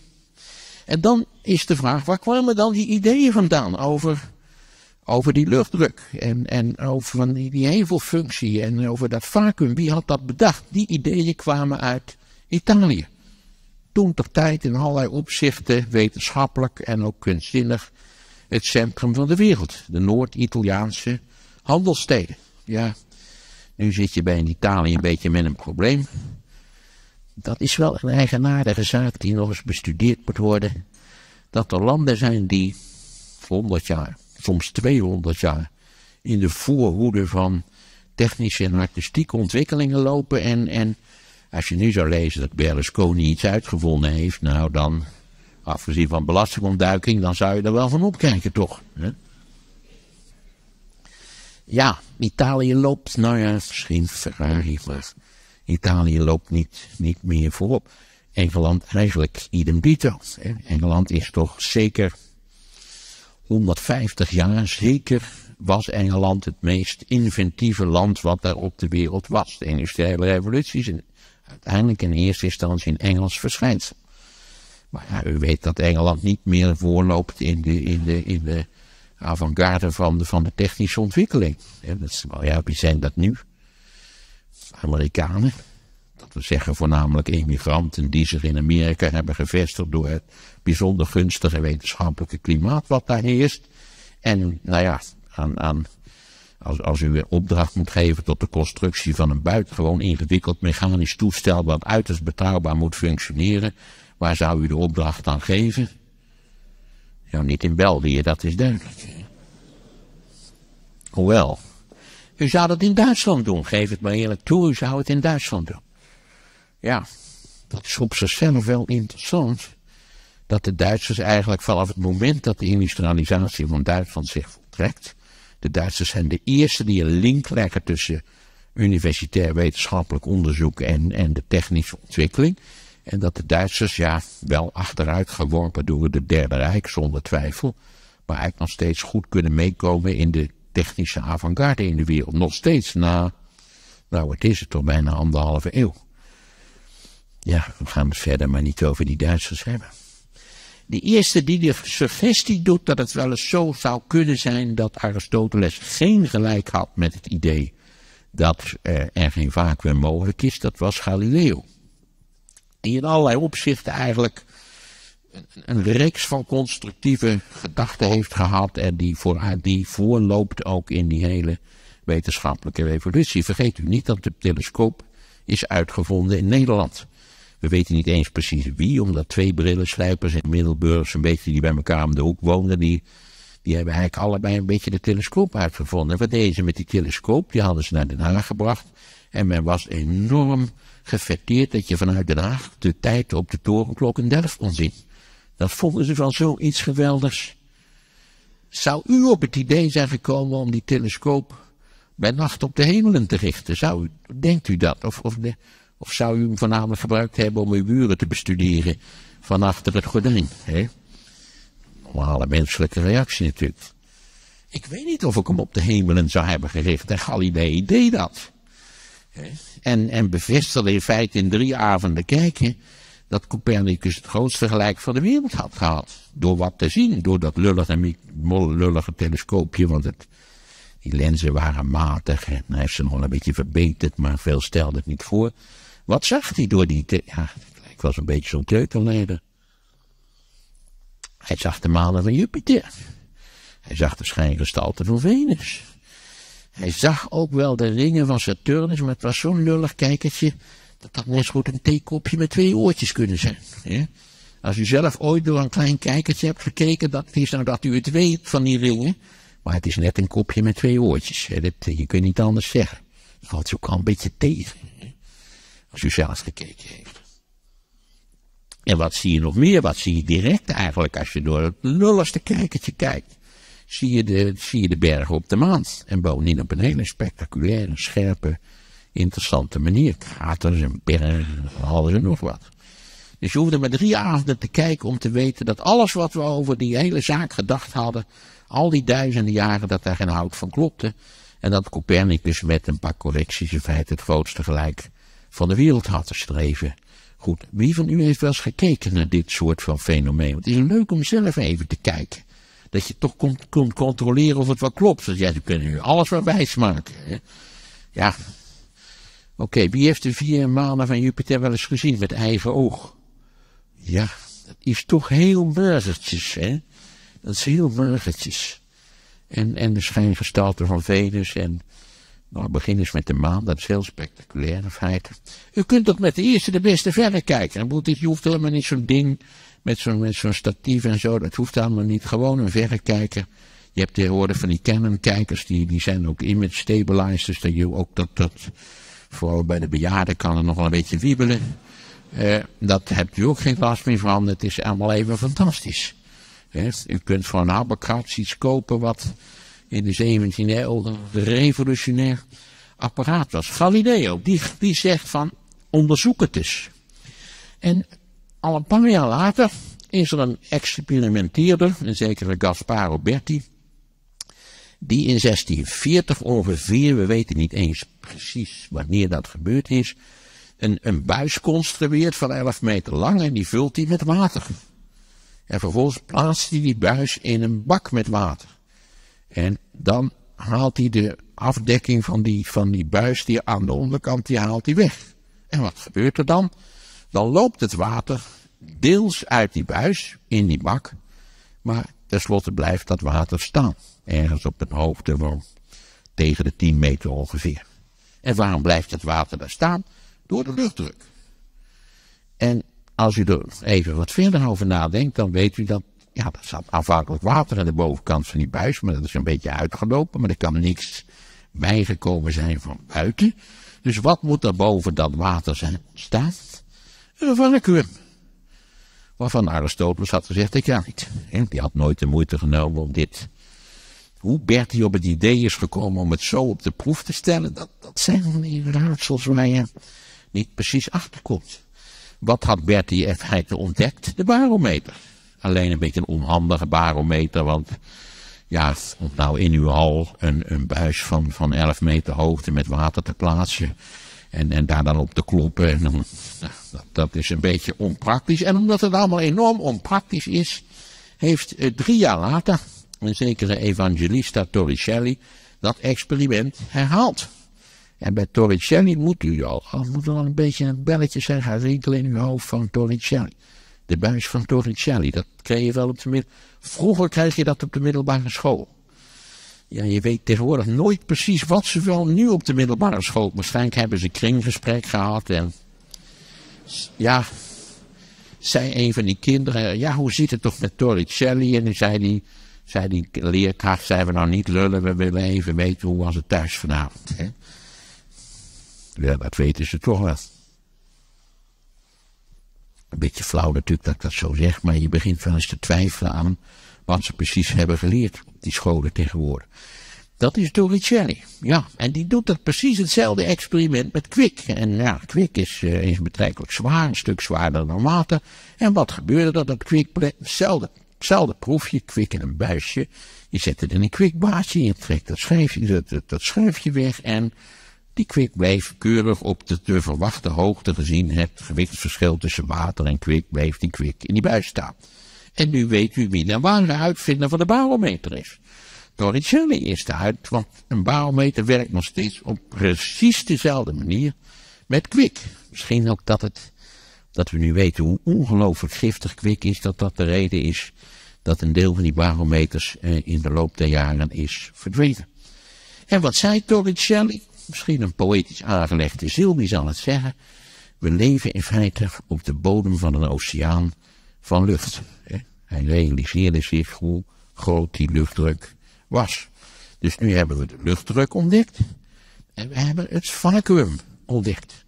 Maar het moest aan mensen nogal uitgelegd worden en gedemonstreerd worden hoe enorm belangrijk en sterk die luchtdruk eigenlijk was. En u weet allemaal welk fantastisch en aansprekend experiment uitgevoerd is om te laten zien hoe groot de luchtdruk was. De Maartenburger halve bollen. Die nog bestaan. Je kunt de Maartenburg naar het museum en daar hebben ze die halve bollen nog. Al is het meestal zo, als je die dingen ziet, dan denk je, jongen, jongen, jongen, dat had ik beter kunnen. Otto Gierike, gek genoeg de burgemeester van Maardenburg, maar ook een vooraanstaand wetenschappelijk onderzoeker en experimenteerder, die had ten eerste een luchtpomp ontworpen. Hij had twee halve koperen bollen, gaat u maar kijken. Die had hij op elkaar gemonteerd, luchtdicht afgesloten en dan had hij de lucht uitgepompt. En toen kwam hij op het lumineuze idee om paarden aan de ene en aan de andere kant te laten trekken, om te laten zien hoe groot de kracht van de luchtdruk was. Volgens de overlevering, dat is op zichzelf al aardig, ik heb gelezen dat er aan beide kanten 16 paarden trokken, dat bleken mij paarden die kennelijk min of meer de dood nabij waren, want dat leek me als het gewoon volwassen sterke paarden waren dat, maar eh, Volgens mij zullen het zes paarden aan beide kanten, maar zelfs dat lijkt mij veel. Maar dat is wat je in de literatuur vindt. Maar hoe dan ook, het was een fantastisch experiment om te laten zien hoe enorm groot in feite die luchtdruk was. En dat is het interessante van het Europa van, dit was dus in Waardenburg in Duitsland, het interessante van het Europa in de 17e eeuw, dat die kennis via een soort van tam-tam-systeem zich door heel Europa verspreidde. Een of priester schreef daar een stukje over dat experiment. Dat was in de tijd dat priesters nog, nog zich met experimenten bezig hielden en niet met andere dingen. Ja, ik weet niet precies wanneer dat erin gekomen is. Uh, hoewel het wel verbijsterend is. Ja, ik heb het nu wel over die priesters, niet over die Maardenburger halve bol. Ja. Heeft u dat gelezen en gehoord van die, van die Ierse weeshuizen, waar ze die meisjes zeven dagen van de week, 18 uur lieten werken en strijken en, en wassen.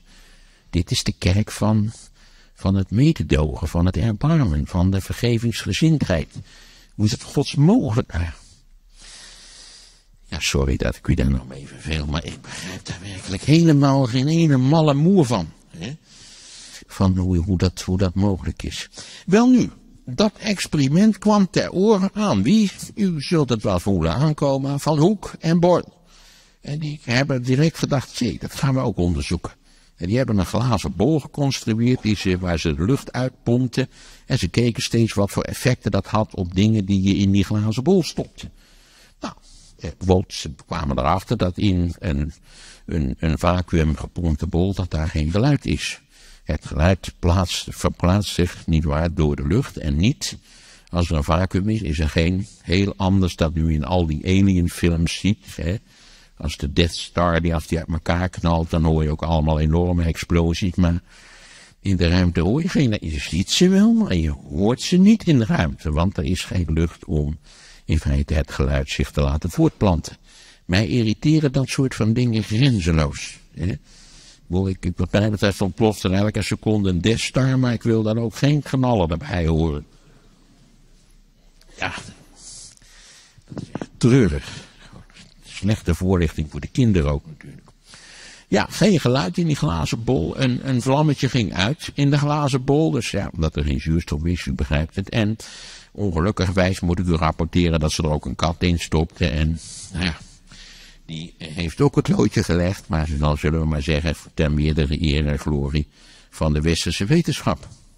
En ja, nu zou je gedonder krijgen met de dierenbescherming.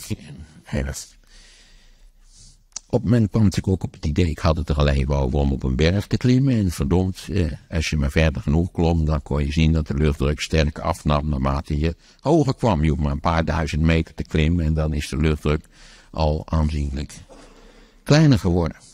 En wat je nou uit dat hele verhaal van mij, als u het een beetje in uw hoofd compact onthouden heeft, dan zult u zien dat het in feite een Europees verschijnsel is. Nee, de EU bestond nog niet, maar de wetenschappelijke revolutie is een Europees verschijnsel. Want het was Italië, het was Nederlands, wat een prominente rol speelt. Denk aan Christian Huygens, maar je kunt ook denken aan Simon Stevin en u kunt denken aan die brillenslijpers, desnoods aan Spinoza, die ook zijn brood verdiende als brillenslijper natuurlijk. Het, het was een Engels verschijnsel, dus Boyle en Hoek speelden een belangrijke rol. Nou, Leeuwenhoek heb ik al genoemd. Het, het kwam uit Duitsland. Eh, kortom, heel West-Europa participeerde in die wetenschappelijke revolutie. En dan moeten we dus over twee weken, ik moet het duidelijk zo duidelijk mogelijk zeggen, verder met die industriële revolutie. De industriële revolutie is in de aller, allereerste plaats een kennisrevolutie. Ja, er waren ook knutselaars, want je moet die kennis op een of andere manier omzetten in een apparaat wat werkelijk en iets doet. En het was ook erg voordelig als dat iets doen ook wel geld opleverde, dan gebeurde het extra. Maar het is toch primair een kennisrevolutie. Want u zult nu begrepen hebben dat je nooit op het idee van een stoommachine zou komen als je niet weet hoe het zit met luchtdruk en vacuüm.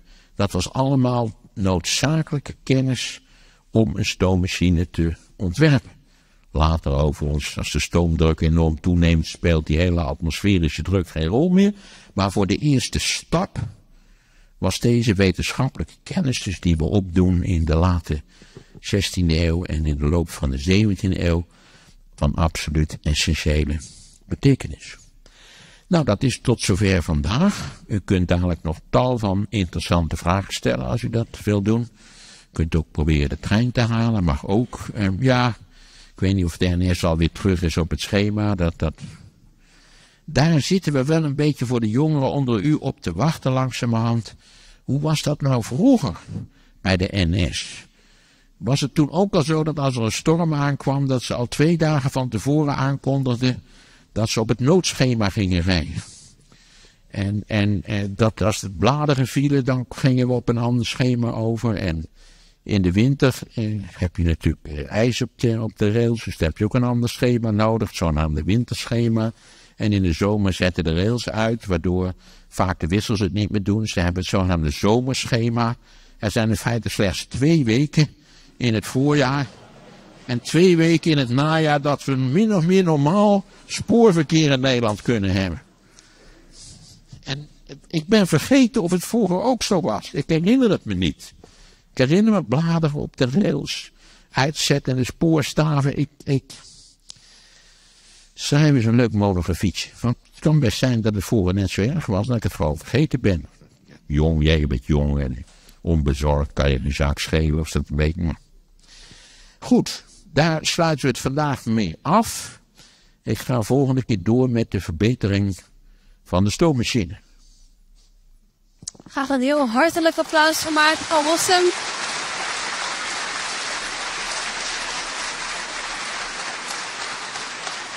We zitten een beetje krap met de tijd. Ik weet niet of ik nog een paar mensen het woord kan geven voor vragen. Als u echt weg moet om de trein te halen of zo, ga dan gerust.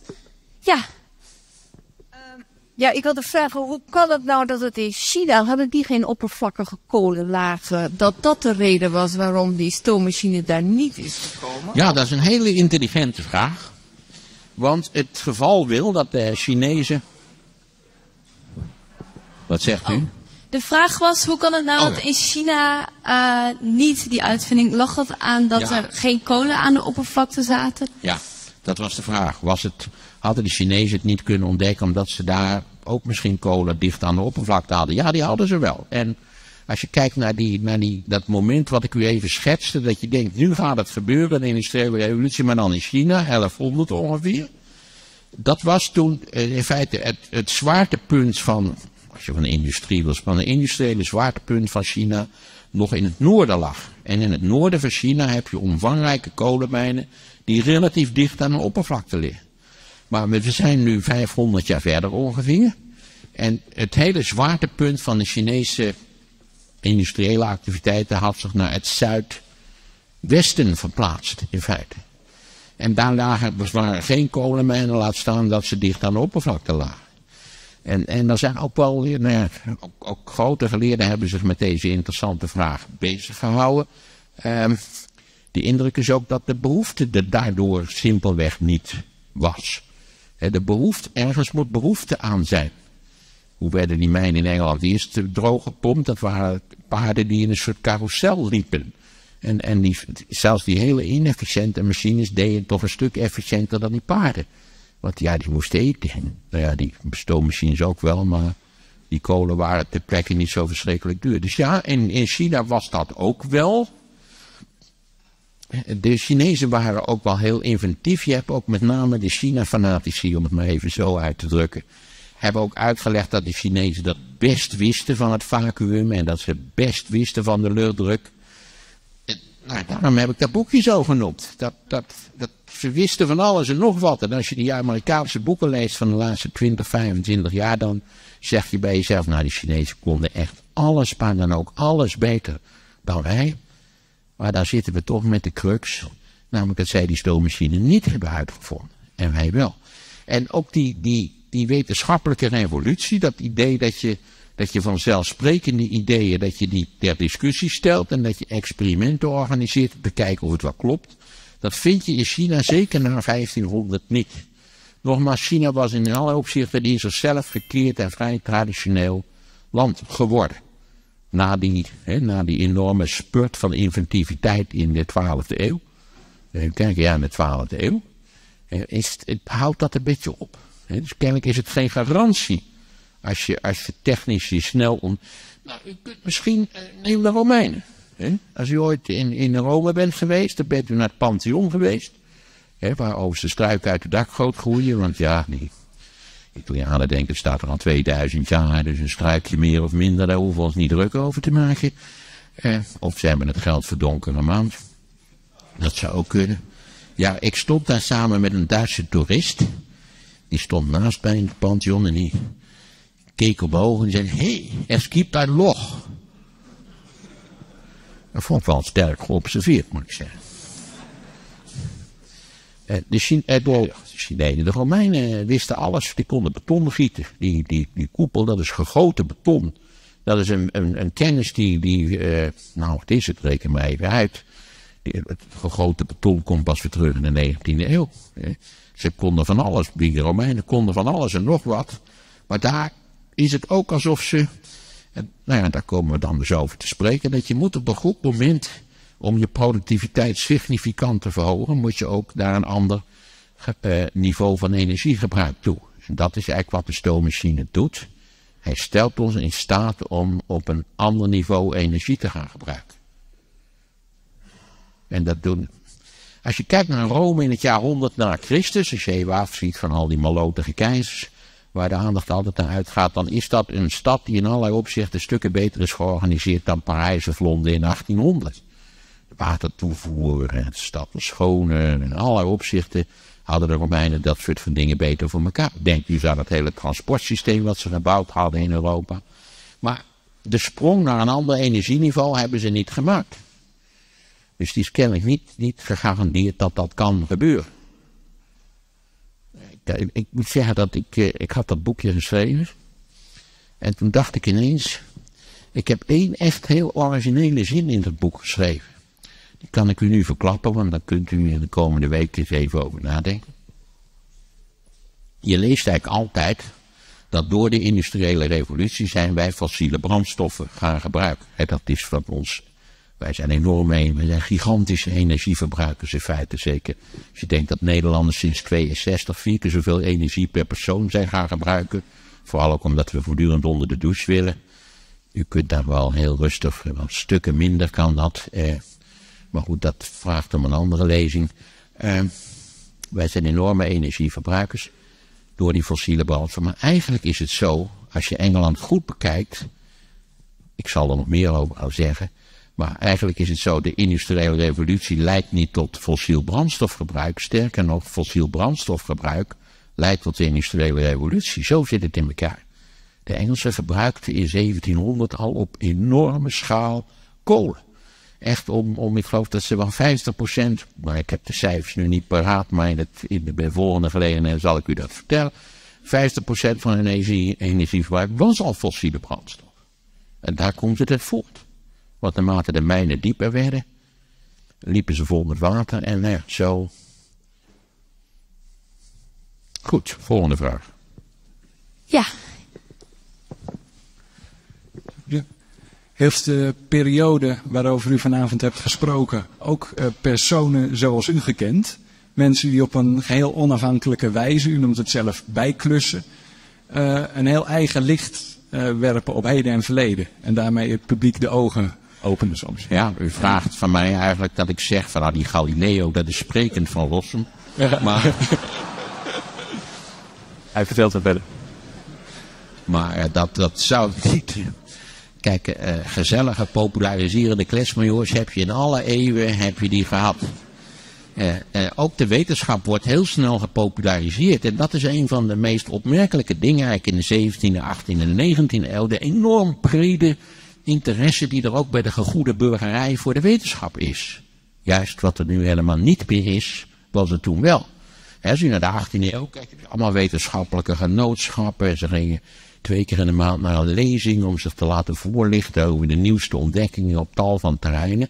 En nou, daar hebben we het eigenlijk al over gehad. Mijn indruk is dat de goede burgerij geen Paul geïnteresseerd is in de, afgezien van een enkele uh, uitzondering, niet, niet erg geïnteresseerd is in de. Uh, uh, neemt u uh, een deftige krant als de NRC, dat is krijg je maar heel mondjesmaat iets te horen over, over technische zaken. U moet al een blad als de ingenieur lezen, wilt u een beetje op de hoogte blijven van hoe die ontwikkeling loopt. Dat is een alleraardig blad. Uh, wat, wat ook, ook, laten we zeggen, populariseert is in de zin dat ik, dat ik eigenlijk alle stukken heel goed kan begrijpen. Je hebt ook van die wetenschappelijke stukken, dat weet u wel, dat je al na vijf alinea's krijgt van die enorme wiskundige formules, dat je denkt, oh jee, hè, dat bootje heb ik gemist. Uh, maar ja, als u mij met Galilei wil vergelijken, of Robert Hooke, of van mij betreft mag dat hoor, maar ik denk niet dat het erg relevant is, eerlijk gezegd. Ja, ik heb hier nog een vraag. De invloed van de reformatie, invloed van de filosofie op die... Want het valt wel toevallig niks samen, die 15e eeuw, en met de ja. reformatie en zo. Nou ja, en daar komt natuurlijk een hoop ook op losse schroeven te staan. Dan moeten de mensen zelf gaan denken. En laten we eerst die reformatie even bezien. Uh, de reformatie is natuurlijk wel een, een, een fenomeen waarin overgeleverde kennis, overgeleverde praktijken ter discussie werden gesteld. Hè. Het was een, een, een samenleving doordecemd van, van de kerk en kerkelijke waarden en een kerkelijke organisatie, die ook een, een deel van de hele maatschappelijke organisatie droeg. En dan is die reformatie natuurlijk toch een vrij revolutionair fenomeen. Maar aan, aan de aan de wortel van waar we het nu over hebben, van die stoommachine, nee, dat, dat kun je niet zeggen. En, en nou, u had het ook over de filosofie. Kijk, filosofie en wetenschap waren toen niet van elkaar te onderscheiden. Dat, dat, Newton was een filosoof en een wetenschapsman. Het, het, het, het zat als het ware nog helemaal in één pakket. Pas in de loop van de 19e eeuw beginnen die twee dingen uit elkaar te lopen en gaat de filosofie zijn eigen totaal zinloze gang en gaat de, de wetenschap eh, de andere kant op. Als het, je, je bent nu, nu hoef je niet filosofisch geschoold te zijn om, om, uh, om geïnteresseerd te zijn in een iPhone, zal ik maar even zeggen. Voor dat zo'n ding wat zo enorm ingewikkeld is, dat daar moet je echt vrij hoog geschoold zijn, technisch wil je begrijpen hoe het, hoe het zit. Dus ik, ik, in informatie misschien, ook door het stimuleren van de drukpers en, en nou ja, een soort van algehele maatschappelijke reuring. Uh, maar veel verder gaat het. Wat mij opviel bij het lezen over dit onderwerp is dat academici natuurlijk enorm veel geschreven hebben over die, over die wetenschappelijke uh, revolutie. Maar dat het heel opvallend is dat, dat wetenschappers geen bol geïnteresseerd zijn in hoe die machines nou eigenlijk werkten. Het gaat er toch om dat, dat Newcomen met zijn assistent na jaren prutsen een machine in elkaar timmert die 15 arbeidslagen per minuut. Dat, is iets wat academici niet interesseert. Dat is een beetje toch die dames in die, in Volkswagen van... Ze beschrijven wel de Volkswagen, dat die een hele leuke vorm heeft en, en dat er een stuur in zit, maar hoe het verder loopt, nee. Dat, dat, dat vond ik eigenlijk vrij kenmerkend dat, dat een, een groot, maar eerlijk zeggen, een groot deel van de academische wetenschap echt geen hout geïnteresseerd is in machines. En wij zijn een, wij zijn een cultuur van machines. Hè? Maar dat interesseert ons eigenlijk geen bal, die machines. Als u, heeft, u, weet u wat u een keer moet doen voor de aardigheid? Als, als u En dan moet u, als u nou toch in München bent, dan moet u daar dus de rondleiding in de BMW-fabriek de. Ik heb verder niks met BMW hoor. Ik heb een Citroën als masochist. Dus. Uh, uh, en BMW, typisch Duits, heeft een heel solide uh, rondleiding. Die duurt 2,5 uur. Dan moet je, je kunt ook niet weglopen, want dan word je gegrepen en dan moet je het nog een keer doen voor straf. En,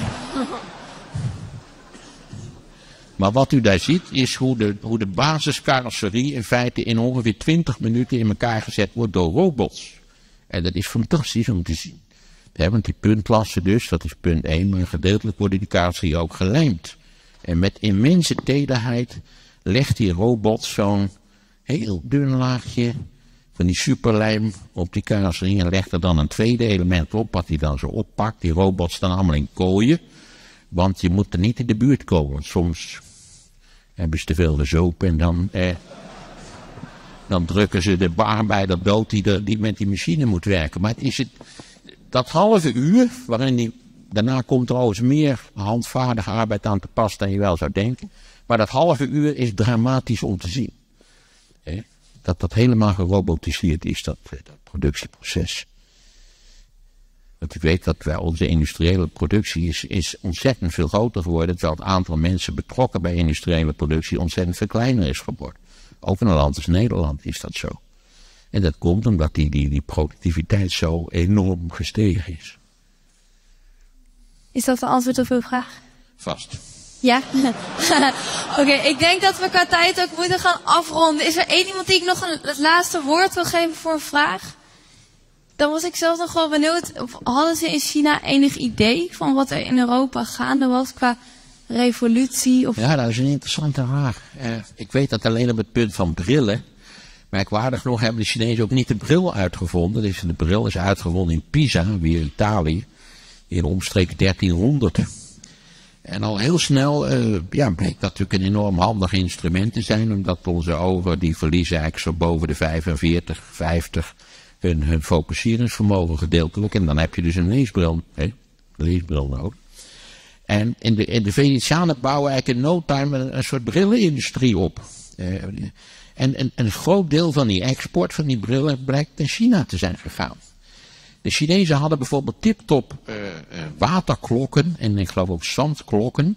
En die deed het wel, maar ze waren, de mechanische klok komt uit Europa.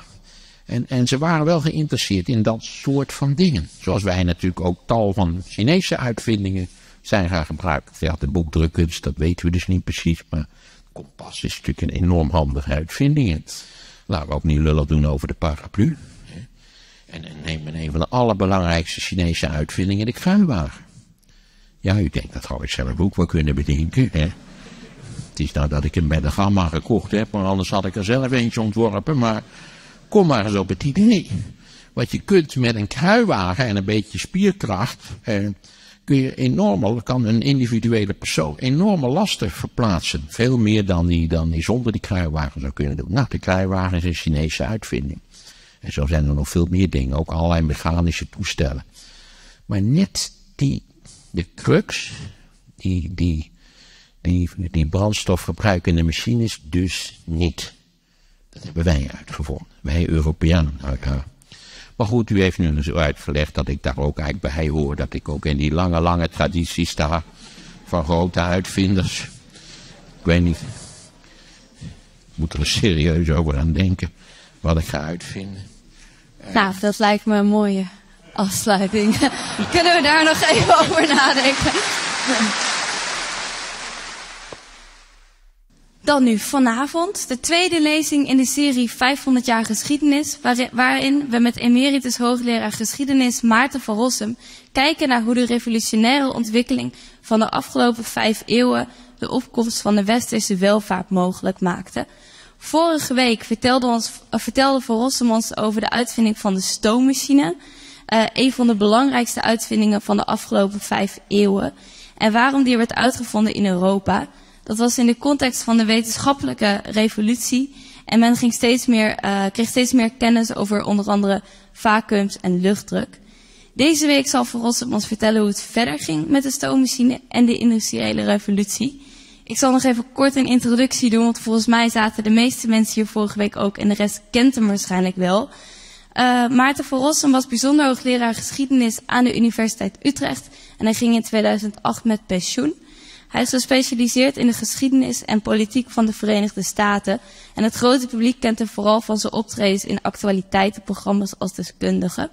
Hiernaast uh, schrijft hij een column voor het Historisch Nieuwsblad en hij heeft zelfs zijn eigen glossy, de Maarten. Dan geef ik hem nu graag het woord. Graag een hartelijk applaus voor Maarten van Rossum.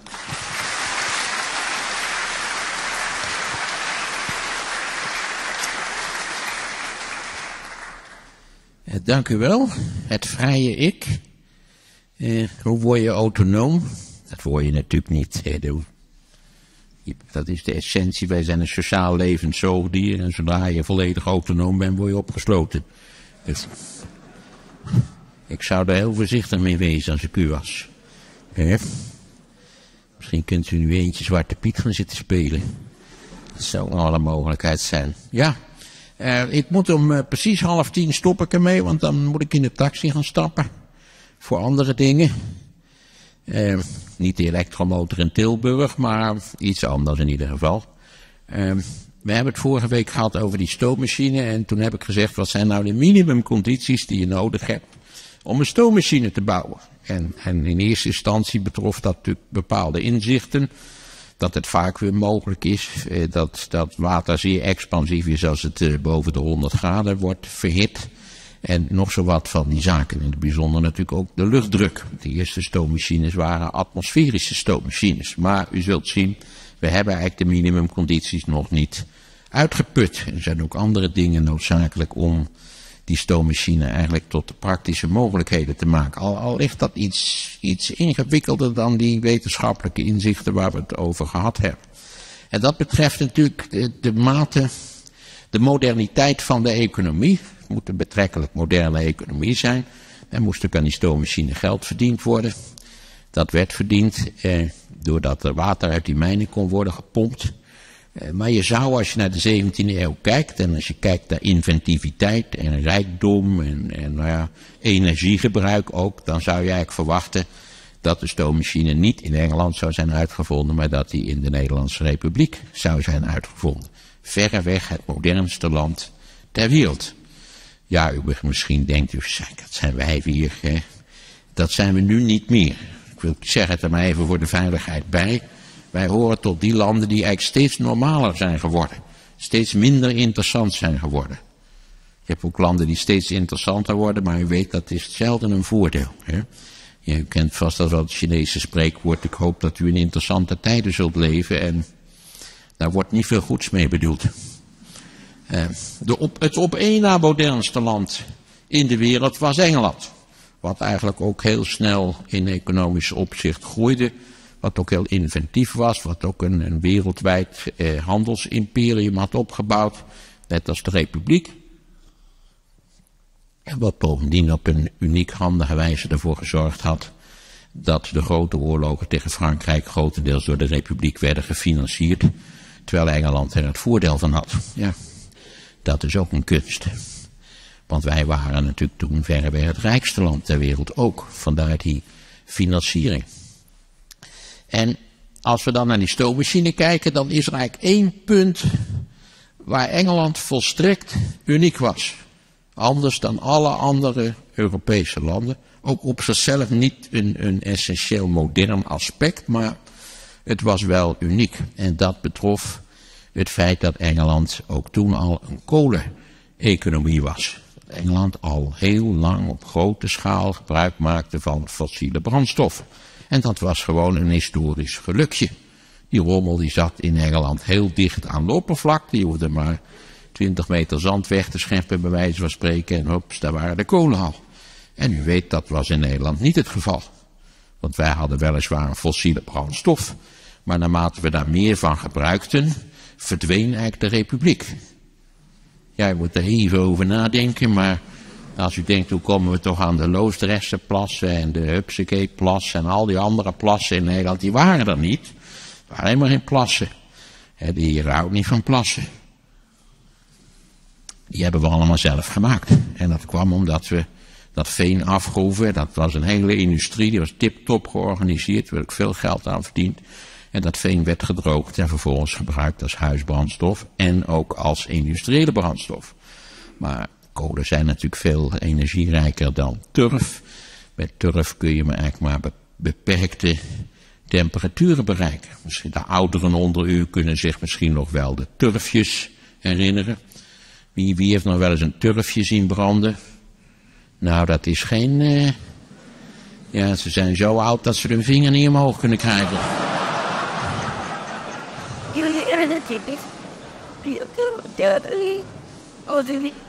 Nou, ik dus. Ik, ik, eh, mijn oma stookte turfjes in een soort turfkacheltje.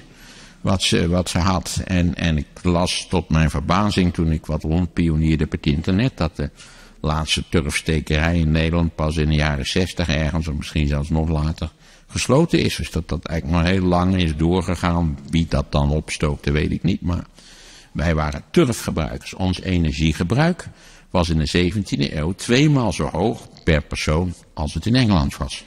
Dus enigszins ook een indruk geeft natuurlijk, nou was het ook een hele kleine bevolking. Wat zal het geweest zijn, de echte Randstad, Holland en zo. Anderhalf miljoen inwoners, zoiets in die geest. Moet u zich voorstellen wat die anderhalf miljoen Nederlanders tot stand hebben gebracht. We zijn nu met z'n 16 miljoen ruim. Ruim tienmaal zoveel. En als je dat nou toch met elkaar vergelijkt. Ja, dan verval je toch tot een zekere depressiviteit. En u heeft zeker wel gelezen dat wij tegenwoordig het meest depressieve volk van Europa zijn. Wat ik weer vrij gek vond. Hè? Als Belg ben je toch in principe veel depressiever, maar een of andere reden zijn die Belgen opgewekt geworden. En eh, die hebben nergens last van. Oké, het was dus die steenkool dicht aan de oppervlakte. En het, het steenkolengebruik groeide in Engeland eigenlijk al sinds de late 15e eeuw. Allemaal te gebruiken als huisbrandstof. Londen gebruikte in 1600 125.000 ton steenkool. In 1700 500.000 ton steenkool. En in 1800 1.200.000 ton steenkool. De kolenvloot die pendelde op en neer tussen, tussen Londen en, en Newcastle, Tyneside zoals dat eh, heet. Die had zoveel personeel dat dat eigenlijk de staande reserve van de Engelse oorlogsvloot was. Bovendien was het tonnage van de kolenvloot groter dan het tonnage van de hele handelsvloot van Engeland bij elkaar gerekend. Dat geeft u een beetje aan dat het hier ging om een hele omvangrijke industrietak, want het was een industrietak. In 1700 was de helft van het hele Engelse energieverbruik werd gedekt door steenkool. En in 1800 was dat zelfs driekwart van het totale energiegebruik. En dat was een situatie die nergens anders voorkwam. Dus dan moet je je toch gaan afvragen wat voor rol heeft die om dat omvangrijke gebruik van fossiele brandstof in Engeland precies gespeeld in de omschakeling van een uiteindelijk agrarische economie naar een industriële economie. Daar zal ik het nog wel over hebben. En die mijnen, ik geloof dat ik dat al verteld heb, werden door één groot probleem geplaagd. Namelijk dat ze vol met water liepen. Beetje hetzelfde als u een diep gat achter in de tuin graaft. In de hoop dat er olie is. Eh, dan krijgt u ook met water te maken.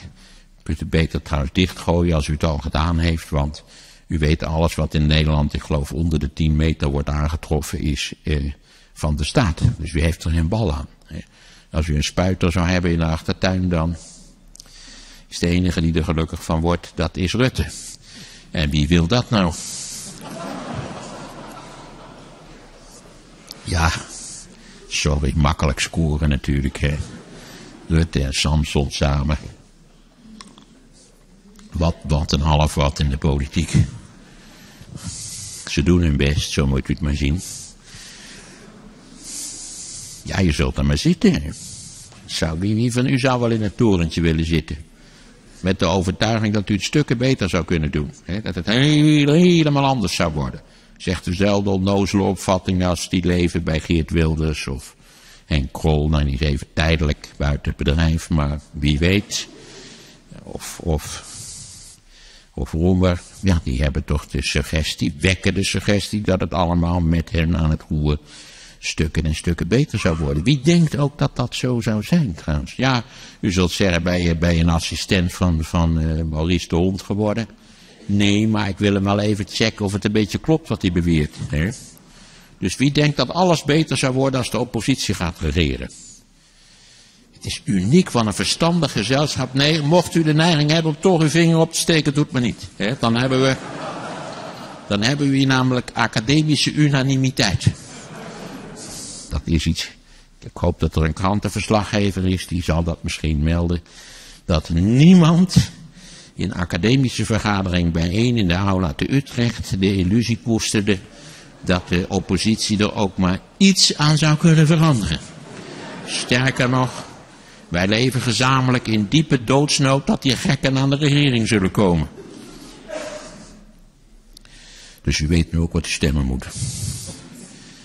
Daar hecht ik wel aan.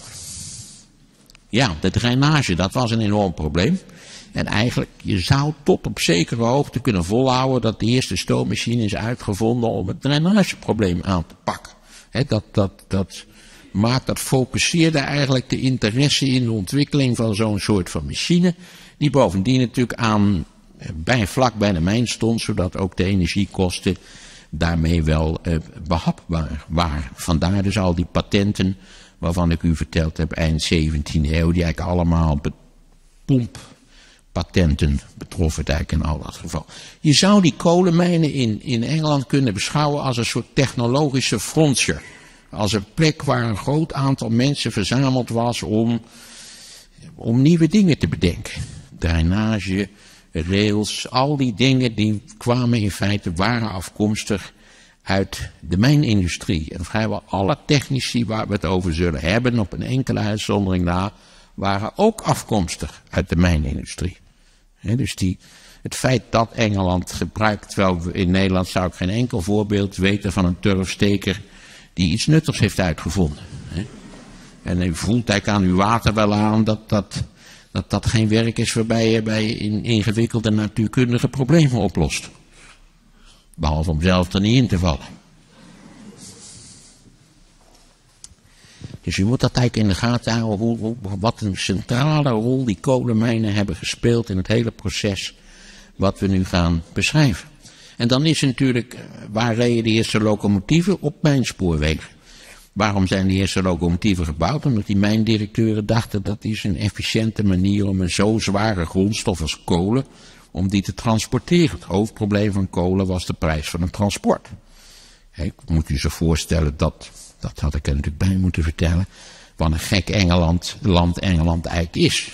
Het was u wel opgevallen dat het een eiland is natuurlijk, maar wist u dat er in Engeland geen enkele plek is die verder dan 70 kilometer van zee ligt? Ja, ga het maar checken. Ik weet ook niet helemaal zeker. Maar het is iets dergelijks. Het is iets dergelijks dat betekent eigenlijk dat je zou Engeland kunnen beschouwen als een soort van centre Pompidou van de transportsector. Ja, ik zie dat dat niet meteen aanslaat. Het Centre Pompidou is een interessant gebouw omdat eigenlijk de servicefuncties van het gebouw naar buiten zijn geprojecteerd. En eigenlijk zou je Engeland, ik, misschien moet ik zeggen, heeft Engeland transporttechnisch een exoskelet. Het is het handigste om, om alles over zee te transporteren. Waarom kon Engel, uh, Londen op kolen draaien? Omdat van de Tyneside werden de schepen geladen en werden naar Londen, naar Londen gevaren. Stel je voor dat het in karren zou moeten worden geladen, ezelkarren, die vervolgens van Tyneside naar beneden moesten eh, om, om de kolen in, in Londen te bestellen. Dan voelt wij al aan uw water gaan dat dat niks zou zijn geworden. Maar dit was wel zoals watertransport tot op de dag van vandaag nog steeds verreweg de goedkoopste vorm van transport is. Als u eh, 3000 ton zand moet verplaatsen van Rotterdam naar, eh, noem maar wat op, een of andere plek in Duitsland. En u zou aanbieden omdat, eh, nou de spoorwegen moeten we er maar buiten laten natuurlijk. Omdat het waarschijnlijk nooit aan zou komen. Hè? Het zou in verband met plat op de rails al ter hoogte van Bermelon sporen, denk ik. Maar als u zou aanbieden om het in kleine vrachtauto's te transporteren, zou dat ook geen eh, idee zijn met wat gejuich, met gejuich zou worden ingehaald. Dus in feite was het ook, ook de hele vorm en van Engeland was ook nog wezenlijk voor het feit dat je min of meer tegen redelijke prijzen die kolen kon van de plaats van het, waar het gedolven werd naar Londen kon krijgen. Dus dat speelt ook nog een rol. De eerste locomotief, ik zei wel, reed op mijn spoorwegen. Het was voor die mijndirecteuren interessant om van de wijn per zo goedkoop mogelijk die zware grondstoffen naar de haven te krijgen waar het in een schip geladen zou kunnen worden. Dus u, voelt dan een beetje aankomen, kun je zeggen zonder kolenmijnen geen industriële revolutie. Dan zou kloppen wat ik vorige keer zei, dat de meest lollige zin in dat hele boekje van mij was. Namelijk dat we de fossiele brandstoffen niet zijn gaan gebruiken door de industriële revolutie, maar dat we de hele industriële revolutie eigenlijk te danken hebben aan het gebruik van fossiele brandstof. Ik denk wel dat dat zo is, maar er bestaat onder historici geen consensus over deze zaak. Er zijn nogal wat historici zeggen, nou ja, in essentie is die industriële revolutie toch een kennisrevolutie. We hebben dat gezien met die wetenschappelijke revolutie en die experimenteerlust en al die uitvinders en zo. Dus dan is de stelling, als de Engelsen het niet hadden gedaan, had iemand anders het wel vroeg of laat gedaan. Als je eenmaal weet van vacuüm en atmosferische druk en, en stoom, dan, dan zou je in principe natuurlijk een stoommachine kunnen bouwen.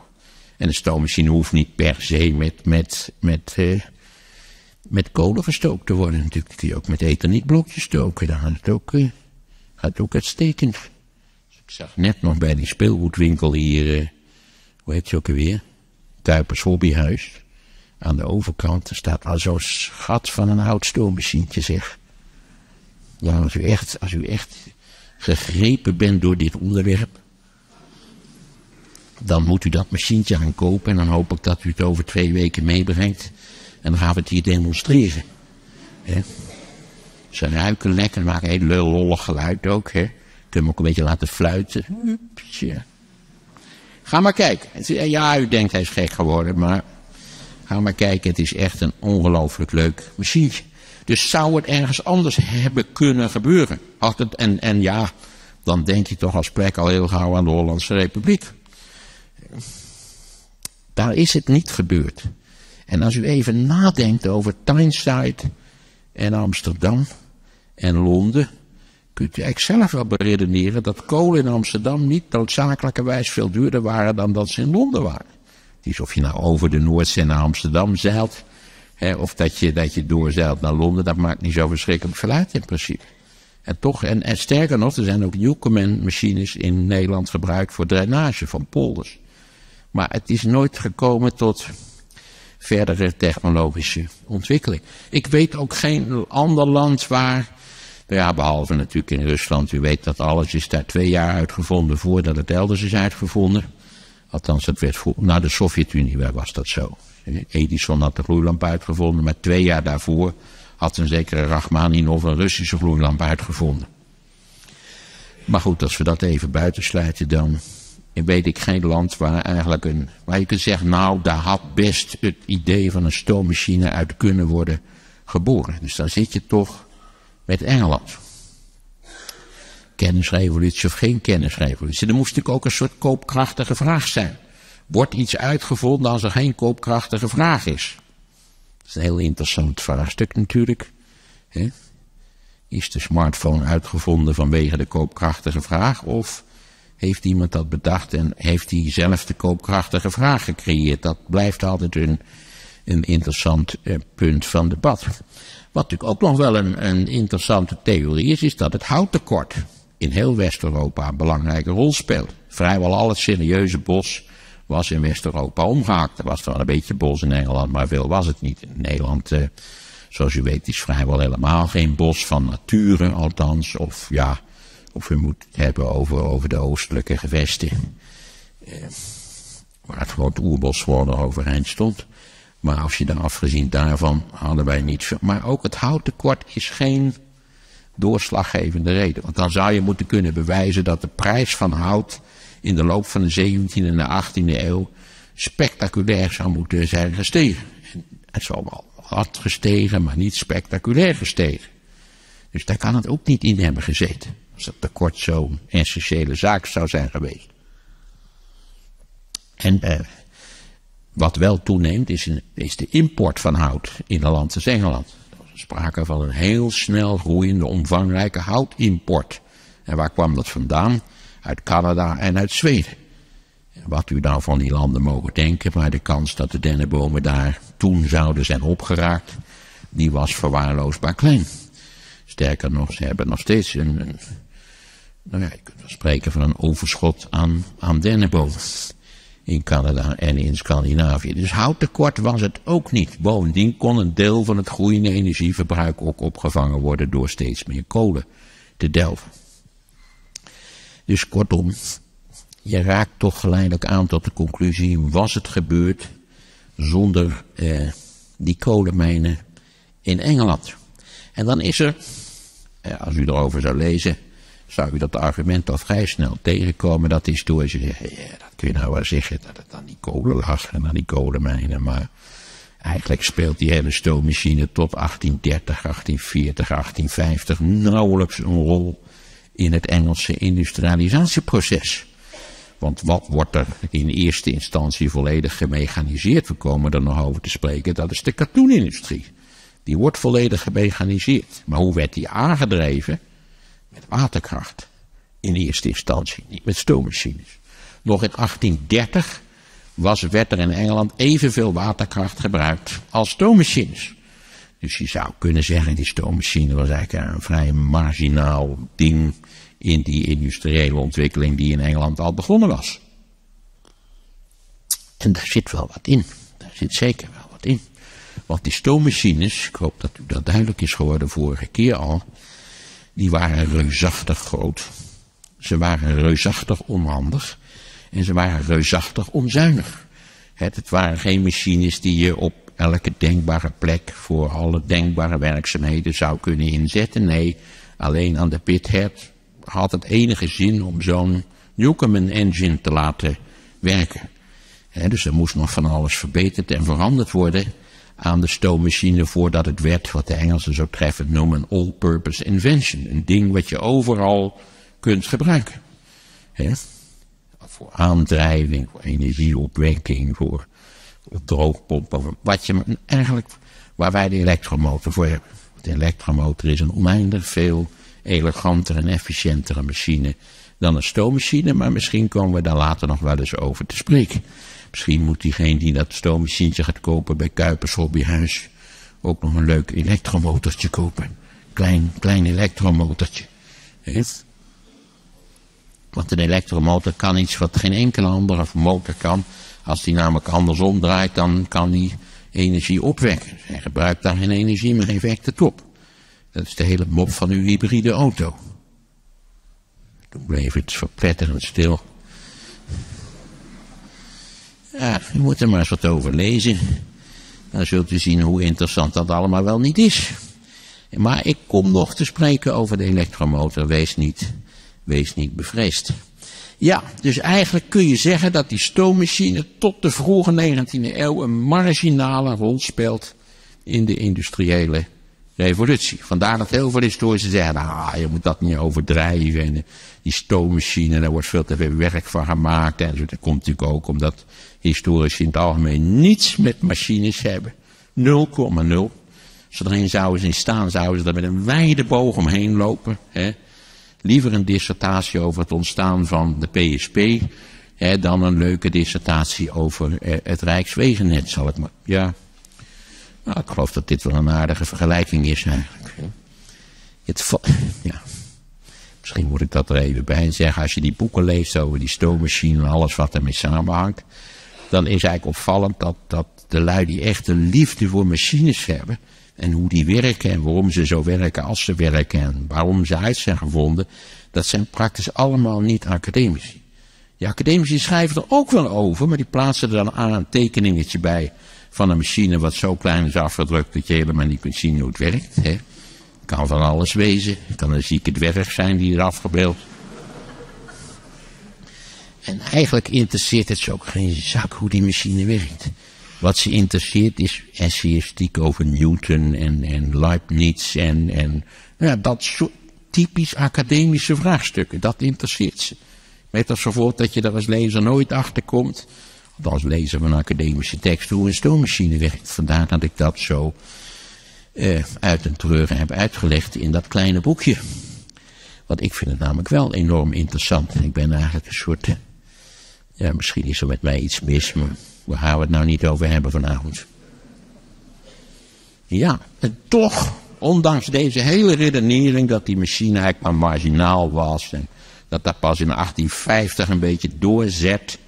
Eh, als je zou concluderen, toen de stoommachine werd uitgevonden in 1712, ontbrak eigenlijk de context, afgezien van dat pompen van dat water uit die mijnen, waarin die machine nuttig en op grote schaal kon worden gebruikt.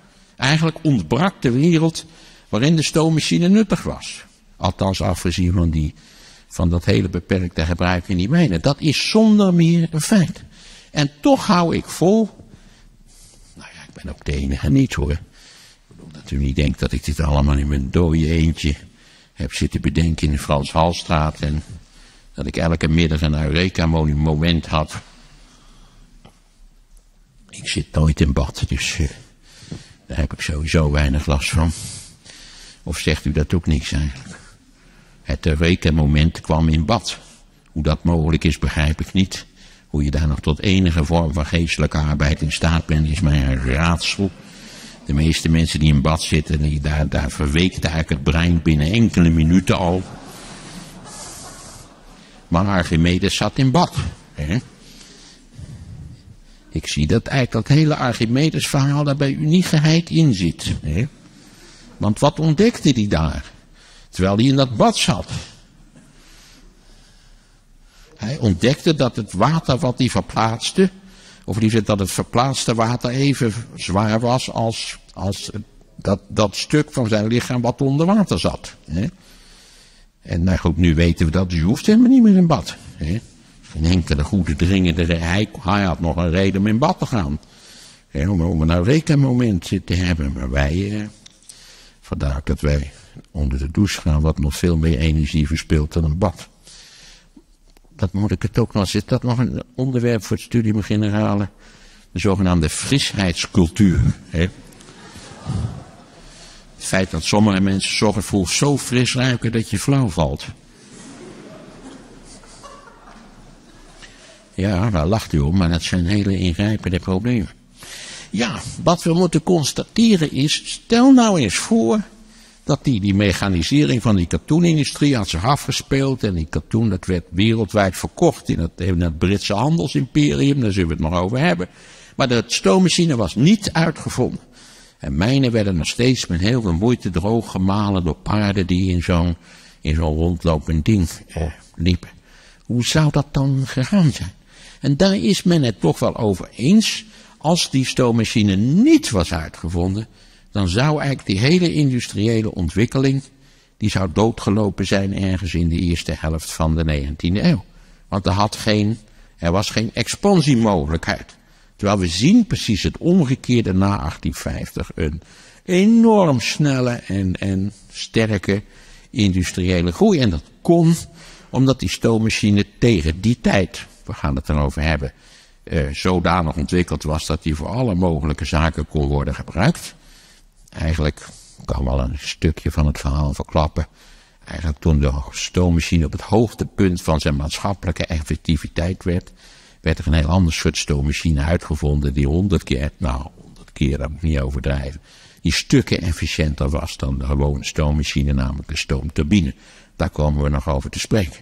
Het feit dat hier de lichten branden, dat ligt naar alle waarschijnlijkheid aan stoomturbines die ergens worden aangedreven. 80% van alle onze elektriciteit wordt nog steeds opgewekt met stoomturbines. Dus daar was die fossiele brandstof nuttig voor, daar waren die stoommachines nuttig voor. Om als het ware dat hele industrialisatieproces op gang te houden en nog een extra versnelling eh, te geven. Denkt u daarbij maar eens aan het Romeinse Rijk. En als u heeft u wel eens een plaatje gezien van Rome in het jaar 100, dat is zo'n beetje, als de keizer zegt, allemaal opgeborgen moeten worden, maar de stad in, op zijn absolute hoogtepunt verkeert. U weet, dat was alles tip-top en. Rome in 100 na Christus was een veel grotere en efficiëntere stad dan Parijs in 1800 of laat staan Londen. Wat één grote vieze boel was natuurlijk. Het is het nog steeds maar. Maar ja, als u recent in Londen bent geweest, vindt u ook niet dat het een beetje een smoezelige stad is eigenlijk. Zeker gezien het prijsniveau. Hè? Daar is iets helemaal fout gegaan. Nou ja, u weet hoe dat komt. Dat zijn al die Libor-speculanten die daar de prijzen hebben opgedreven.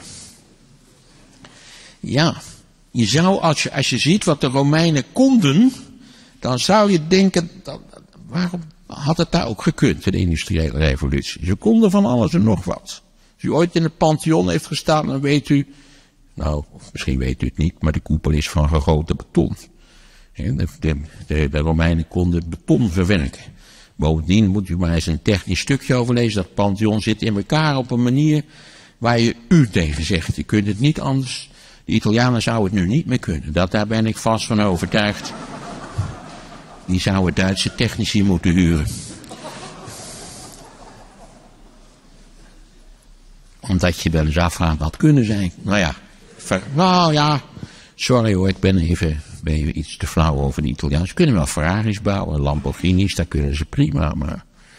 En mooie motorfietsen en zo, van dit soort van dingen. Ja, dus, en, maar de Romeinen beschikten niet over de middelen om, laat maar zeggen, het niveau van brandstofgebruik, dus het niveau van energieverbruik zodanig te verhogen dat ze die sterke economische expansie op gang konden houden. En dat was mogelijk tussen 1830 en 1860 in Engeland, omdat de stoommachine al bestond. Want dan zie je dat ook de textielindustrie op grote schaal uitgerust wordt met stoommachines. En we zullen zien, nietwaar, de prachtige uitvinding natuurlijk van stoomlocomotieven. Misschien wel het aller, allermooiste apparaat wat de mensheid ooit heeft uitgevonden. Als je dat vergelijkt met die lullige treinen die we nu hebben. Zo'n grote fantastische sissende stoomlocomotief, dat, dat, dat is toch iets ongelooflijks. Wist u dat ze tussen Londen en Edinburgh ook gemiddelde snelheden haalden van tussen de 80 en de 100 km per uur? Je vraagt je af of de Engelsen dat nog voor elkaar. Nou. En dan nog, het zijn zulke, het zijn echt fantastische apparaten. Um, het interessante is ook dat eigenlijk tot 1850 niemand in de gaten had wat er gaande was. Je zou denken, nou ja, dat eigenlijk de eerste waarnemer van de stoommachine al zei van, ah, dit is zoiets geweldigs, dit, dit gaat alles veranderen. Nee, men had totaal niets in het snotje. Wie weet wat er nu gaande is, waarvan ze over 200 jaar zeggen, wie weet ook weer iemand, een of andere gepensioneerde in de aula hier, die dan zegt van ze hadden niets in het snotje en de wereld was bezig dramatisch te veranderen. Want het was niet, ja, dat Jan Doedel niks in het snotje heeft, dat weet u ook wel. Die zou zijn eigen schaduw kunnen struikelen, bij wijze van. Maar, ik geef maar een paar namen. Adam Smith, wijd en zijd beschouwd als de grondlegger van de economische wetenschap. Een van de meest briljante geesten van de 18e eeuw. Zonder enige twijfel had totaal niets, maar dat ook niets in. Hij stond er met zijn neus bovenop.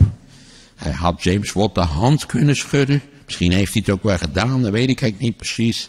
En hij had geen idee. Sterker nog, Adam Smith zag wel dat de Engelse economie zo snel ontwikkelde. Maar hij zei, dat kan niet goed gaan. En daarbij verwees hij naar de Republiek. Die per slotverrekening zich tussen 1580 en 1670 zich stormachtig had ontwikkeld. En daarna toch in een soort stasis was geraakt. En hij zei dat zal Engeland tenslotte ook overkomen. Hij zag dus niet dat in een iets later stadium het gebruik van fossiele brandstoffen die immense versnelling aan het proces zouden geven. U kunt nog aan Ricardo denken, een andere grondlegger van de economische wetenschap ook. 0,0, ze hadden helemaal niets in de gaten. Ze dachten dat de zaak weer zou gaan stagneren. Het is ook wel een geliefde gedachte van de mens dat het zal niet goed aflopen. Hè? Wij, wij, hebben iets eschatologisch in onze geest en er moet ergens een eind aan komen. En nou ja, de ene ziet dat vrij dramatisch en de ander die denkt dat hij dan in de hemel komt.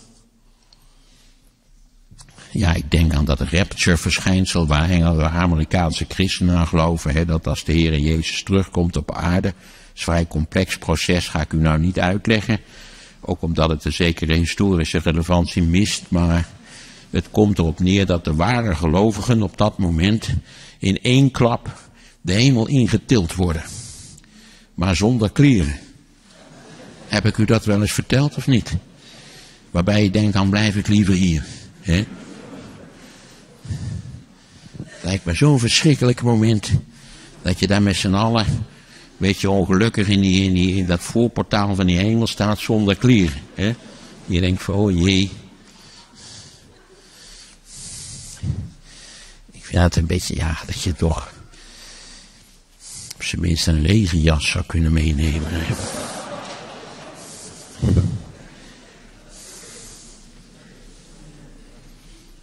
Het, het blijft gek dat men niet begreep wat er gaande was. Dat eigenlijk al, toen de zaak al honderd jaar op gang was, dat men nog geen idee had wat dit, wat dit wonderlijke proces zou opleveren. Dat, dat idee eigenlijk pas doorbreekt 1850, 1860, dan beginnen ze zich te realiseren dat alles anders is geworden en nog veel anderser zal worden in de, in de decennia daarna. Maar goed, eerst moeten we terug naar, uh, nou, dat moeten we wel, maar u mag nu, heb ik hier gecalculeerd, eh, ruim drie minuten hoesten. Ik, ik wil ook de rokers aanbevelen om, om zich even te beheersen. Ja, want dan is die straks extra lekker. Ik stop er om half tien mee. U bouwt uw verlangen op. Hè? Eigenlijk zou u met één sigaret per dag zou u een gelukkig mens kunnen worden. U verlangt de hele dag naar die sigaret. U steekt hem op en er is niks aan. Dus we pauzeren nu drie minuten. Is dat niet interessant eigenlijk dat vroeger rokers enorm stoer waren? En dat het tegenwoordig eigenlijk een beetje een kneuzige groep geworden is. Dat het eigenlijk geen, het geeft geen status meer om te roken. Behalve natuurlijk voor kinderen of jonge pubers, die hebben er ook nog wel last van. Maar ja, dat is een leeftijd waarop de verwarring zo enorm is dat het heeft ook geen zin om ze dat uit te leggen. Het is gewoon een kwestie van tien jaar wachten tot de draadjes aan elkaar zijn gesoldeerd daarboven. Hè? Ja, dat schijnt het te zijn dat, hè, dat er nog heel veel los zit in het hoofd eigenlijk. En wist u dat? En dan komt er weer een leeftijd dat het allemaal weer losschiet. Dat, nou ja, goed. We hebben eigenlijk de levenscyclus kort samengevat. De eerste 25 jaar zit het los. Dan zit het een tijdje zit het goed. Nou, niet bij iedereen, maar bij de meeste mensen wel. En dan begint het weer los te schieten. En dan heb je weer hetzelfde probleem als je je puberteit had. Dat je weer een lastpak wordt. Um, ja, het gaat nu over de verbetering van de stoommachine. Eigenlijk is die stoommachine in de loop van de 18e eeuw permanent, in een permanent proces van relatief kleine stappen, steeds verder verbeterd. En daar hebben Jan en Alleman hebben daar aan gewerkt. Ja, gaat u zitten. Ja, dat heeft altijd iets vervelends dat de aandacht van allen op u gericht is. Vooral omdat u tekortgeschoten bent. Ja, dat is fijn om zoiets te zeggen. Ja, de mens zit vol met slechte eigenschappen. Um, dat ging in hele kleine stappen. Jan en Alleman heeft aan die machines gewerkt. Vaak waren het de operators zelf, moet je dat zeggen, de, degene die dat ding op gang moesten houden en moesten stoken, die allerlei verbeteringen aanbracht aan het kleppenmechanisme enzovoort enzovoort. Maar verreweg de belangrijkste figuur in de loop van de 18e eeuw was James Watt, een schot. Die leefde van 1736 tot 1819. Dat geeft ook een beetje beeld hoe die in de tijd zit. En die James Watt was een instrumentmaker en een landmeter. En een soort van persoon, denk ik, die, die tegenwoordig niet meer voorkomt. Want hij was natuurlijk niet academisch gevormd. Eh, maar hij was wel tegelijkertijd een briljante wetenschappelijke onderzoeker. met een uiterst praktische inslag. Het was juist een wonderlijke combinatie van, van praktische inslag, hoe je iets maken moest en hoe dat ongeveer in elkaar zat aan de ene kant en toch ook een, naar we zullen zien, uitgesproken theoretische interesse en, en begaafdheid aan de andere kant. En ik kwam ook uit een heel interessant milieu, wat ook eigenlijk vrij karakteristiek is voor die tijd. Want ook zijn vader en zijn ooms waren eigenlijk goed ingevoerd in de praktische wetenschap, laten we het maar zo zeggen. Ze hadden ook een zeker benul van wiskunde. Uh, ze deden allemaal aan de landmeterij, daar kon je toen heel aardig aan bijverdienen. Begrijp ik uit de literatuur. Je zou kunnen zeggen, dit was een familie waarbij meten is weten een heel belangrijke rol speelt. En als James Watt iets kon, dan was het wel meten, waardoor hij daarna iets wist. In 1763 werd hem een caduc exemplaar aangeboden van een Newcomen machine. Een model eigenlijk van de Newcomen machine. En de vraag was, zou je dat ding kunnen repareren, want hij doet het niet meer. Al snel bleek dat het ding eigenlijk te klein was om goed te functioneren. Dat kan ik u niet uitleggen hoe dat nou in elkaar zit, maar zo was het. Maar Watt raakte enorm geïnteresseerd in de efficiëntie van de stoommachine. En was eigenlijk de eerste die dat, dat hele ding tegen het licht hield met de vraag, hoe zou je dat nou fundamenteel kunnen verbeteren? Ook wel vermoedend overigens dat als hij iets fundamenteels zou verbeteren, dat hij waarschijnlijk ook wel geld eraan zou kunnen verdienen. Want nogmaals, daar was natuurlijk ook het, steeds het idee, ja, je patenteert het en dan kun je aan je patent in principe goed verdienen. Wat mat alles door wat er met die machine te maken had. Ik heb u in het begin gezegd, heel vaagjes, dat het volume van stoom ongeveer 2000 keer zo groot is als eh, de hoeveelheid water waar dat die stoom mee is opgewekt. Maar wat meet het zodanig op? Het, het, het volume van de stoom is 1849 maal zo groot als het volume van het water waarmee de stoom is opgewekt. Dat geeft u een beetje een idee van de precisie waarmee die te ging. En eigenlijk begreep hij al heel snel wat de grote tekortkomingen waren van die allereerste stoommachines. Namelijk dat die cilinder, waarin die zuiger dus bewoog, daar hebben we het over gehad, dat die eh, steeds opnieuw opgewarmd moest worden. En dan moest die weer afgekoeld worden, want dan moest die stoom dus condenseren. En daarvoor moest, het een heel, moest die temperatuur in die cilinder een heel eind zakken. En dan moest vervolgens kwam er weer nieuwe stoom in die cilinder. En dan moest die hele cilinder weer opgewarmd worden. Want als die niet voldoende opgewarmd was, of de wanden van de cilinder nog koud waren, dan condenseerde die stoom natuurlijk op die koude wanden van de cilinder. En zo kwam Wotrijk achter dat dat voortdurende opwarmen van de cilinder 80% van het hele energiegebruik van die machine betrof. Dus als je het opwarmen van de cilinder zou kunnen elimineren op enige wijze, dan zou je in principe enorme besparingen kunnen realiseren op het energieverbruik van de stoommachine. Want dan had je nog maar 20% nodig van de energie die je in eerste instantie nodig had bij die primitieve machines, laten we ze maar zo even noemen. En eigenlijk zou ik aan u moeten vragen, stel u staat voor deze taak, u moet uitvinden hoe je dat nou, zou iemand van u binnen 30 seconden kunnen verzinnen hoe je dat nou aan moet pakken?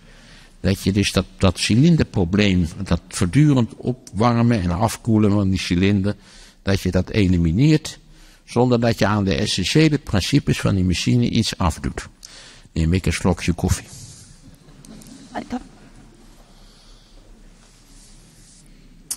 Ja, hoe zou dat moeten doen? Ja, ik weet hoe het gaat. Ik zou het zelf niet bedacht hebben. Dat moet ik u wel eerlijk eh, vertellen. En, en James Watt schreef veel en veel later, toen hij al een oude man was geworden, schreef hij... Ik maakte een wandeling in 1765, dus toen werkte hij al twee jaar aan dat probleem. En tijdens die wandeling had ik plotseling een Eureka-moment, een, een flits van inzicht. Ik wandel elke avond en ik ben nu 70 en ik heb nog nooit een flits van inzicht gehad. Ja, wel eens dat ik vergeten had op de buienradar te kijken, maar... Op zichzelf ook een belangrijk inzicht. Dan word je nog, maar... Ja, hij zag hoe het moest. En wat heeft hij gedaan? Wat zei, kijk, als we moeten die cilinder, die moeten we permanent op die hoge temperatuur houden. Laten we zeggen 100 graden of een fractie hoger. Dus het condensatieproces moeten we uitbesteden, moeten we ergens anders laten plaatsvinden. Dus wat bouwde die vast aan dat die stoommachine? Een, een condenser. In het Nederlands, ik had het woord nooit eerder gezien tot ik het opzocht, een koelkamer. Wie van u kende het woord koelkamer? Voor een, een, een vat wat aan een stoommachine wordt gehangen en wat gebruikt wordt in feite om het condensatieproces te laten verlopen. Niemand wist dat. Zie ik het goed? Ik kijk nog even. Hier ook niet. Wat doet mij dat een genoegen? Dat u dat niet wist. Want ik wist het ook niet. Dus ja, dan zou het vrij pijnlijk zijn als hier een woud van vingers omhoog gegaan was. Denk je, ik heb iets verkeerd gedaan in de loop van mijn, van mijn onderwijscarrière. Ja, hij bouwde een condenser, een koelkamer. Dus zodra dat vat, dat laten we zeggen, zodra die ruimte onder de cilinder gevuld was met stoom, ging er een kraantje open, of een klepje, hoe je het maar noemen wilt. En dan ging die stoom, die kon dan ontsnappen naar die koelkamer, die koel was en daar kon dus die stoom condenseren. En omdat die stoom condenseerde, creëerde die een partieel vacuüm, waardoor die nog meer stoom uit die cilinder zoog. En als die cilinder dus eenmaal eh, leeg was, dan had je daar natuurlijk ook weer dat partiële vacuüm en dan ging die, ging die zuiger, die ging in principe naar beneden. En zo zorgde Watt ervoor dat de cilinder permanent op een hoge temperatuur kon worden gehouden. En de efficiëntie van de stoommachine eigenlijk sprongsgewijze toenam. Met die koelkamer. En het pijpje wat daar naartoe liep en nou, alles wat daar eh, mee samenhing. Dat betekende dat James Watt in principe iets had uitgevonden, want je kunt wel van een uitvinding spreken, die ongelooflijk veel geld zou kunnen opbrengen. Stonden honderden van die Newcomen machines in Engeland op allerlei verschillende plekken. Maar om een commercieel valide machine te bouwen had hij nog wel enige tijd nodig. Dus hij had ook geld nodig, een geldschieter. En zijn eerste geldschieter is failliet gegaan, dus die hoeven we niet te noemen. En zijn tweede geldschieter was Matthew Bolton. B-O-U T-O-N. Een, een visionaire figuur. Al schatrijk geworden met het maken van iets van blik. Ben even vergeten wat het was, moet ik u bekennen. En, hij zag wat in die stoommachine. En hij dacht, dat kunnen we exporteren en dan worden we allebei nog veel rijker. Hij nog veel rijker dan hij al was. En Watt zou ook rijk worden en zo is het ook gegaan.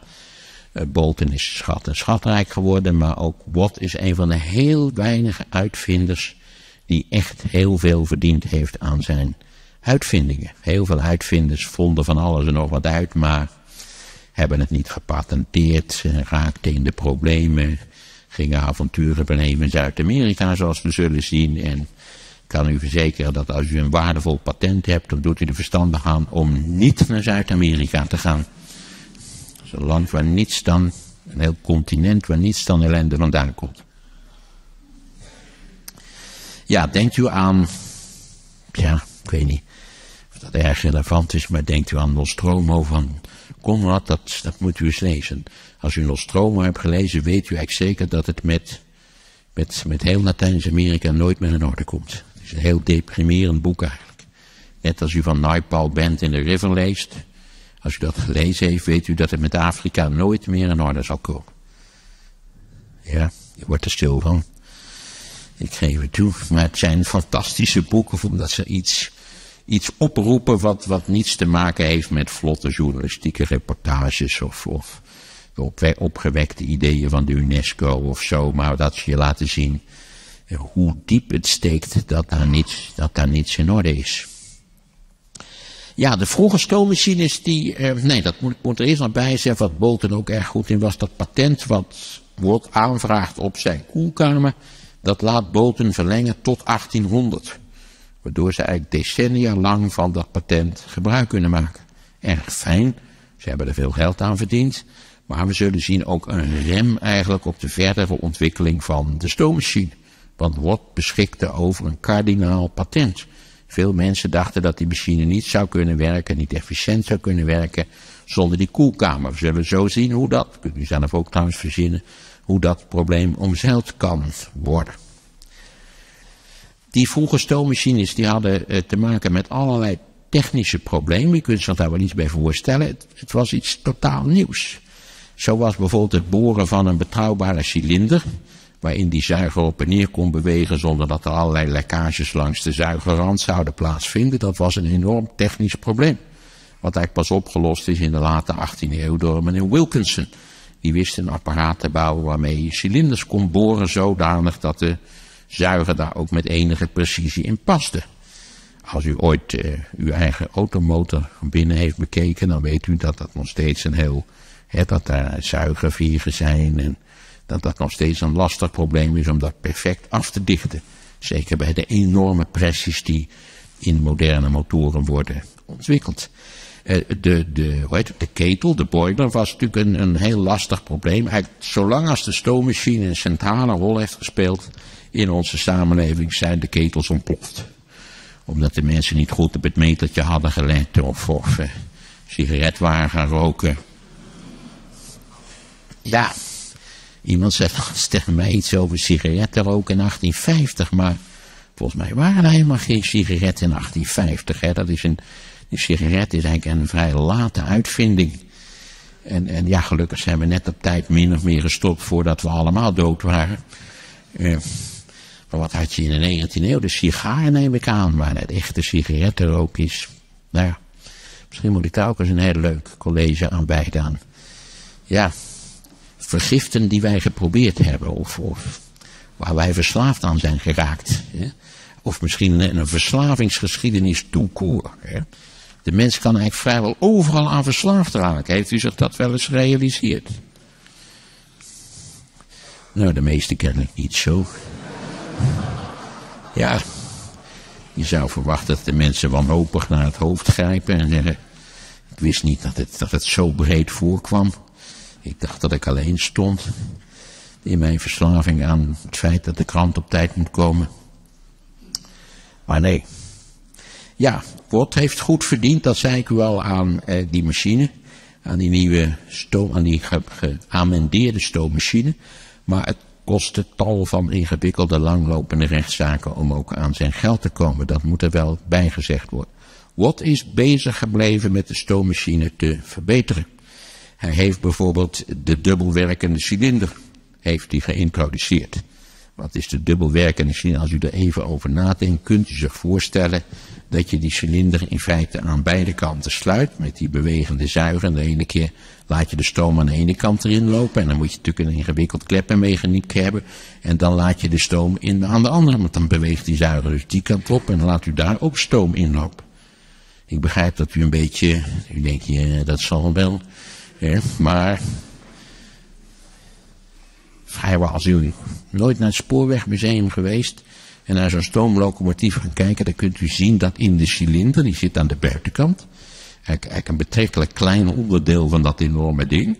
En dan kunt u zien dat die stoom aan beide kanten in die cilinder gebracht kan worden. Wat natuurlijk de efficiëntie enorm verhoogt. Voor die stoommachines van toen, van de 18e eeuw, waar bovenop die wonderlijke bewegende balk zat, moest je ook een veel complexer mechaniek bouwen om, laten we zeggen, die dubbele beweging van die cilinder, om die ook op efficiënte wijze op iets anders over te brengen. Op een andere mechanische beweging. En daar komen we aan een heel interessant punt. Dat Bolton natuurlijk al heel snel Derwold zei, we moeten een stoommachine ontwikkelen waarmee we een draaiende beweging kunnen genereren. Zodat we machines kunnen aandrijven. Want die draaien bijna allemaal. Ja, dat leek een enorm lollig idee. Maar wat, hoe wordt dat tegenwoordig gedaan als u een, een op en neergaande beweging omzet in een draaiende beweging? Hoe doen we dat meestal? Met een kurkas. Zei iemand dat al? Ja, je bent, u zei krukas, heel goed. Dus het is fijn om uit de zaal toch een zekere steun te hebben in je observaties. Het probleem van de krukas voor Watt en Bolton was dat hij al gepatenteerd was. En dat ze de uitvinding van de uitvinder van de krukas wel gevraagd hebben, kunnen we dat patent voor jou niet krijgen? En zei nou, je kunt dat patent voor mij wel krijgen, maar dan wil ik het patent voor de koelkamer hebben. Het juist steken recht over. Waarop Bolton of wat zei, daar is geen sprake van dat we dat gaan doen.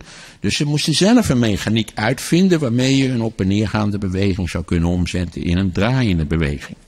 En ze hebben daarvoor het planeetwielmechanisme uitgedacht. En ik ga u dat, ja, ik kan u wel heel kort verklaren, maar dan zult u nog denken, ja, ik begin, ik begin. Eh, Je hebt heel veel mensen die als je dan iets gaat uitleggen, dan zie je hoe een zekere verglazing optreedt in het gelaat. En als ze een bordje op hun hoofd zouden hebben, zou daar geprojecteerd worden, lul maar door. Het de simpelste voorbeeld van een planeetwielmechanisme is dat je een heel groot rond ding hebt, met waarbij de, bij de, de, de tanden aan de binnenkant zitten. Niet aan de buitenkant, maar aan de binnenkant. En dan loopt rond langs die tanden een veel kleiner wieltje. Wat aangedreven wordt door een op- en neergaande beweging. Zo. Ja. Ik, ik leg het hopelijk zodanig uit dat u toch denkt, ik wil weten hoe dat zit. En dan zoekt u straks even op die Wikipedia, die magnifieke, wonderbaarlijke uitvinding. Daar zoekt u even op het planeetwielmechaniek. En u zult zien, dat is ook weer net zo'n mooi tekeningetje. Wie van u heeft trouwens even opgezocht hoe die Newcomen stoommachine werkt? Ah, weer dezelfde manier die ook van die krukas weet. Oh, dat... Nee? Eh, Ja, anders krijgt u de prijs van de ijverigste leerling van de week. Zoals je bij McDonald's heb je de manager van de week. Als je die treft, poeh. Ja. Maar goed, zoek het even op, het planeetwielmechanisme. Ja, u denkt natuurlijk, wat doet dat daar eigenlijk toe? Wat kan mij dat schelen? Eh, dat. Maar dat, dit waren volstrekt wezenlijke stappen in het creëren van de samenleving waar wij in leven.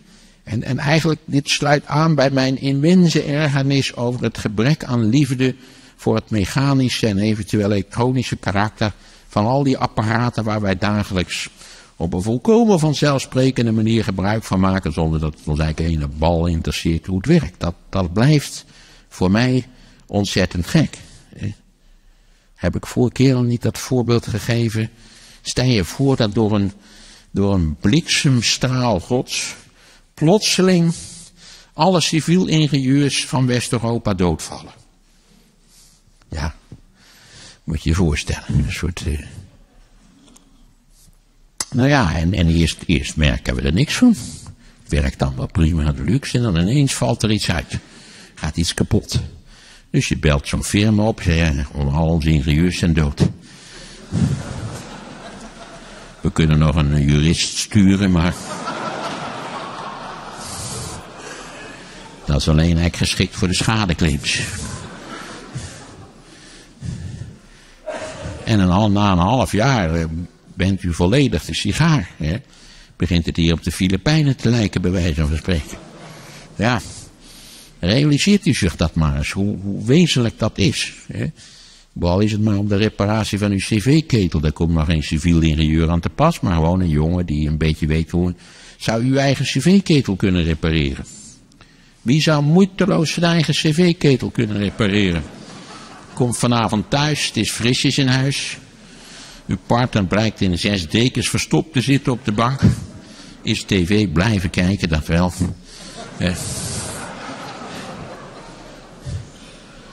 Wie, zou wie, loopt naar de zolder en zegt, oh, dan moet even wat schroeven en, en condenspijpjes losgeschoten en zo. Hè?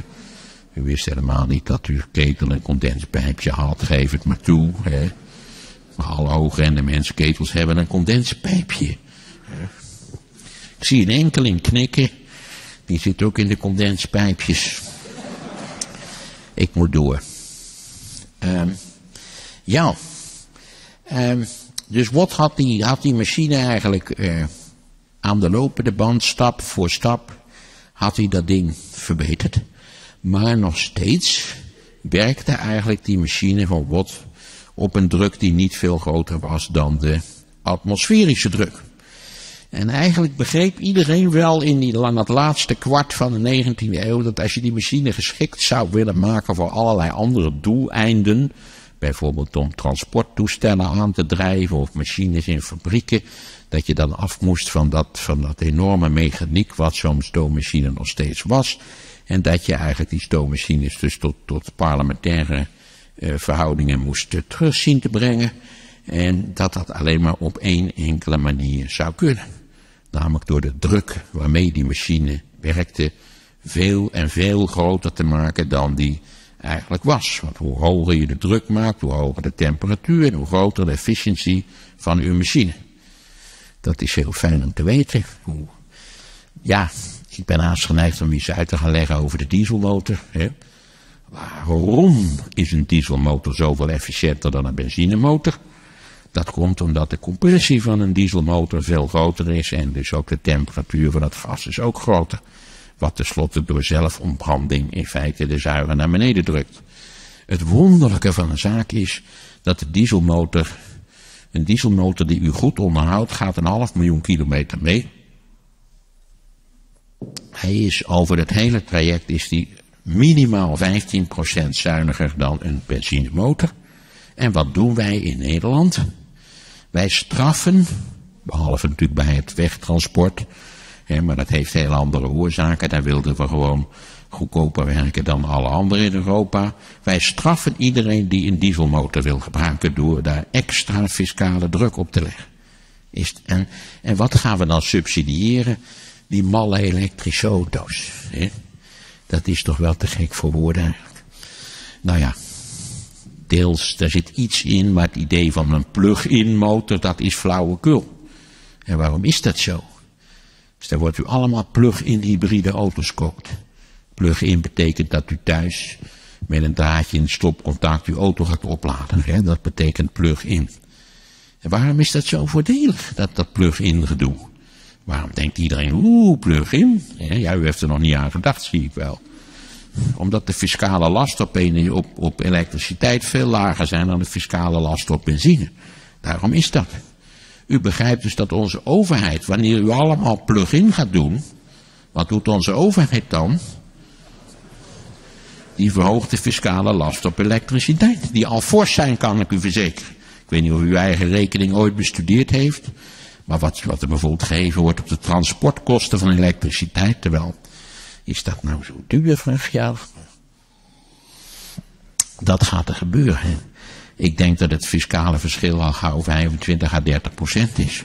Dus dat plug-in is op zijn best een soort tijdelijk aardigheidje, maar het is eigenlijk flauwekul.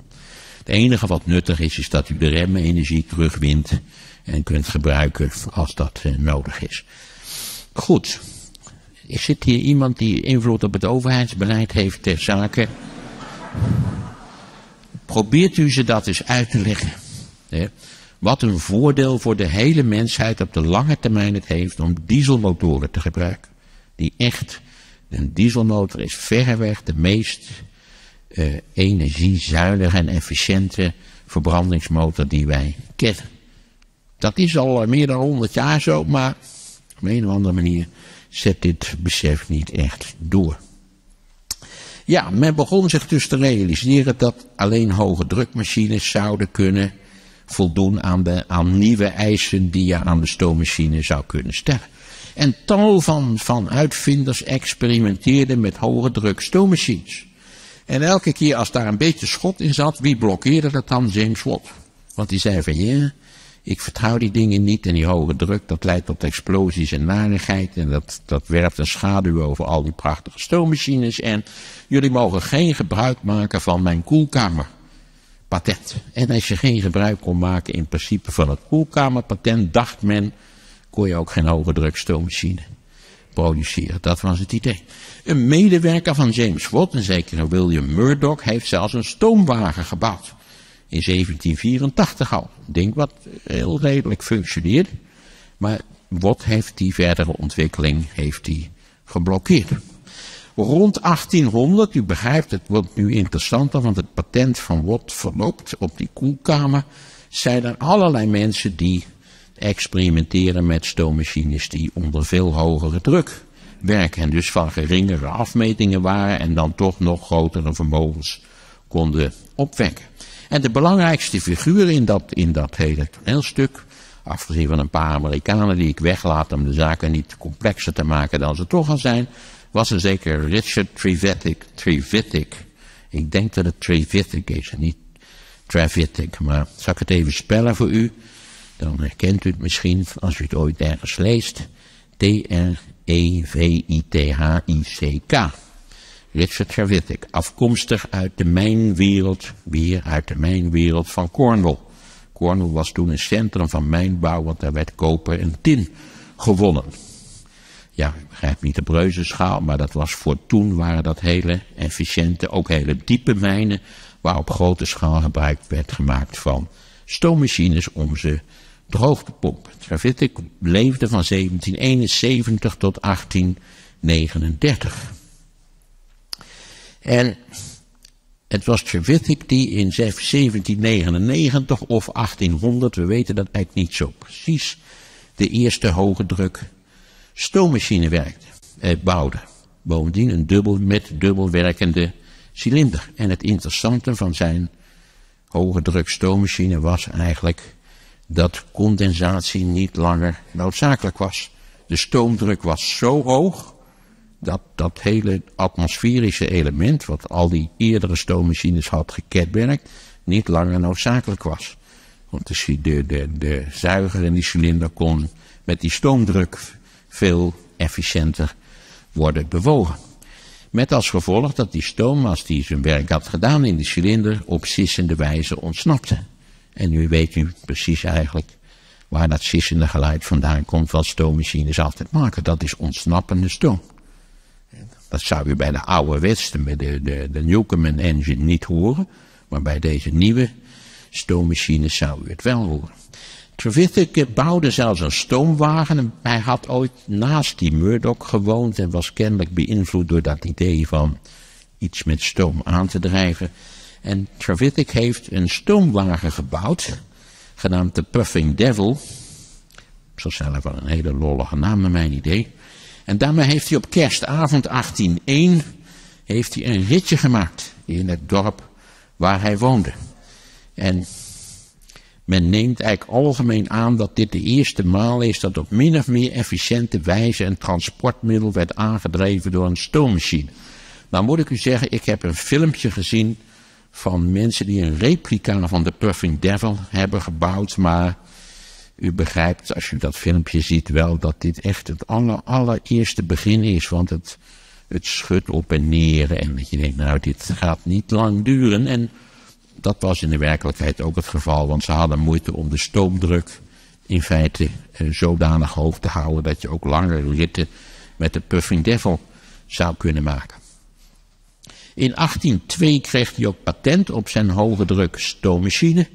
En in datzelfde jaar nog bouwde hij een stoommachine met een stoomdruk van, ja sorry dat het Engelse termen zijn, 145 pond per square inch.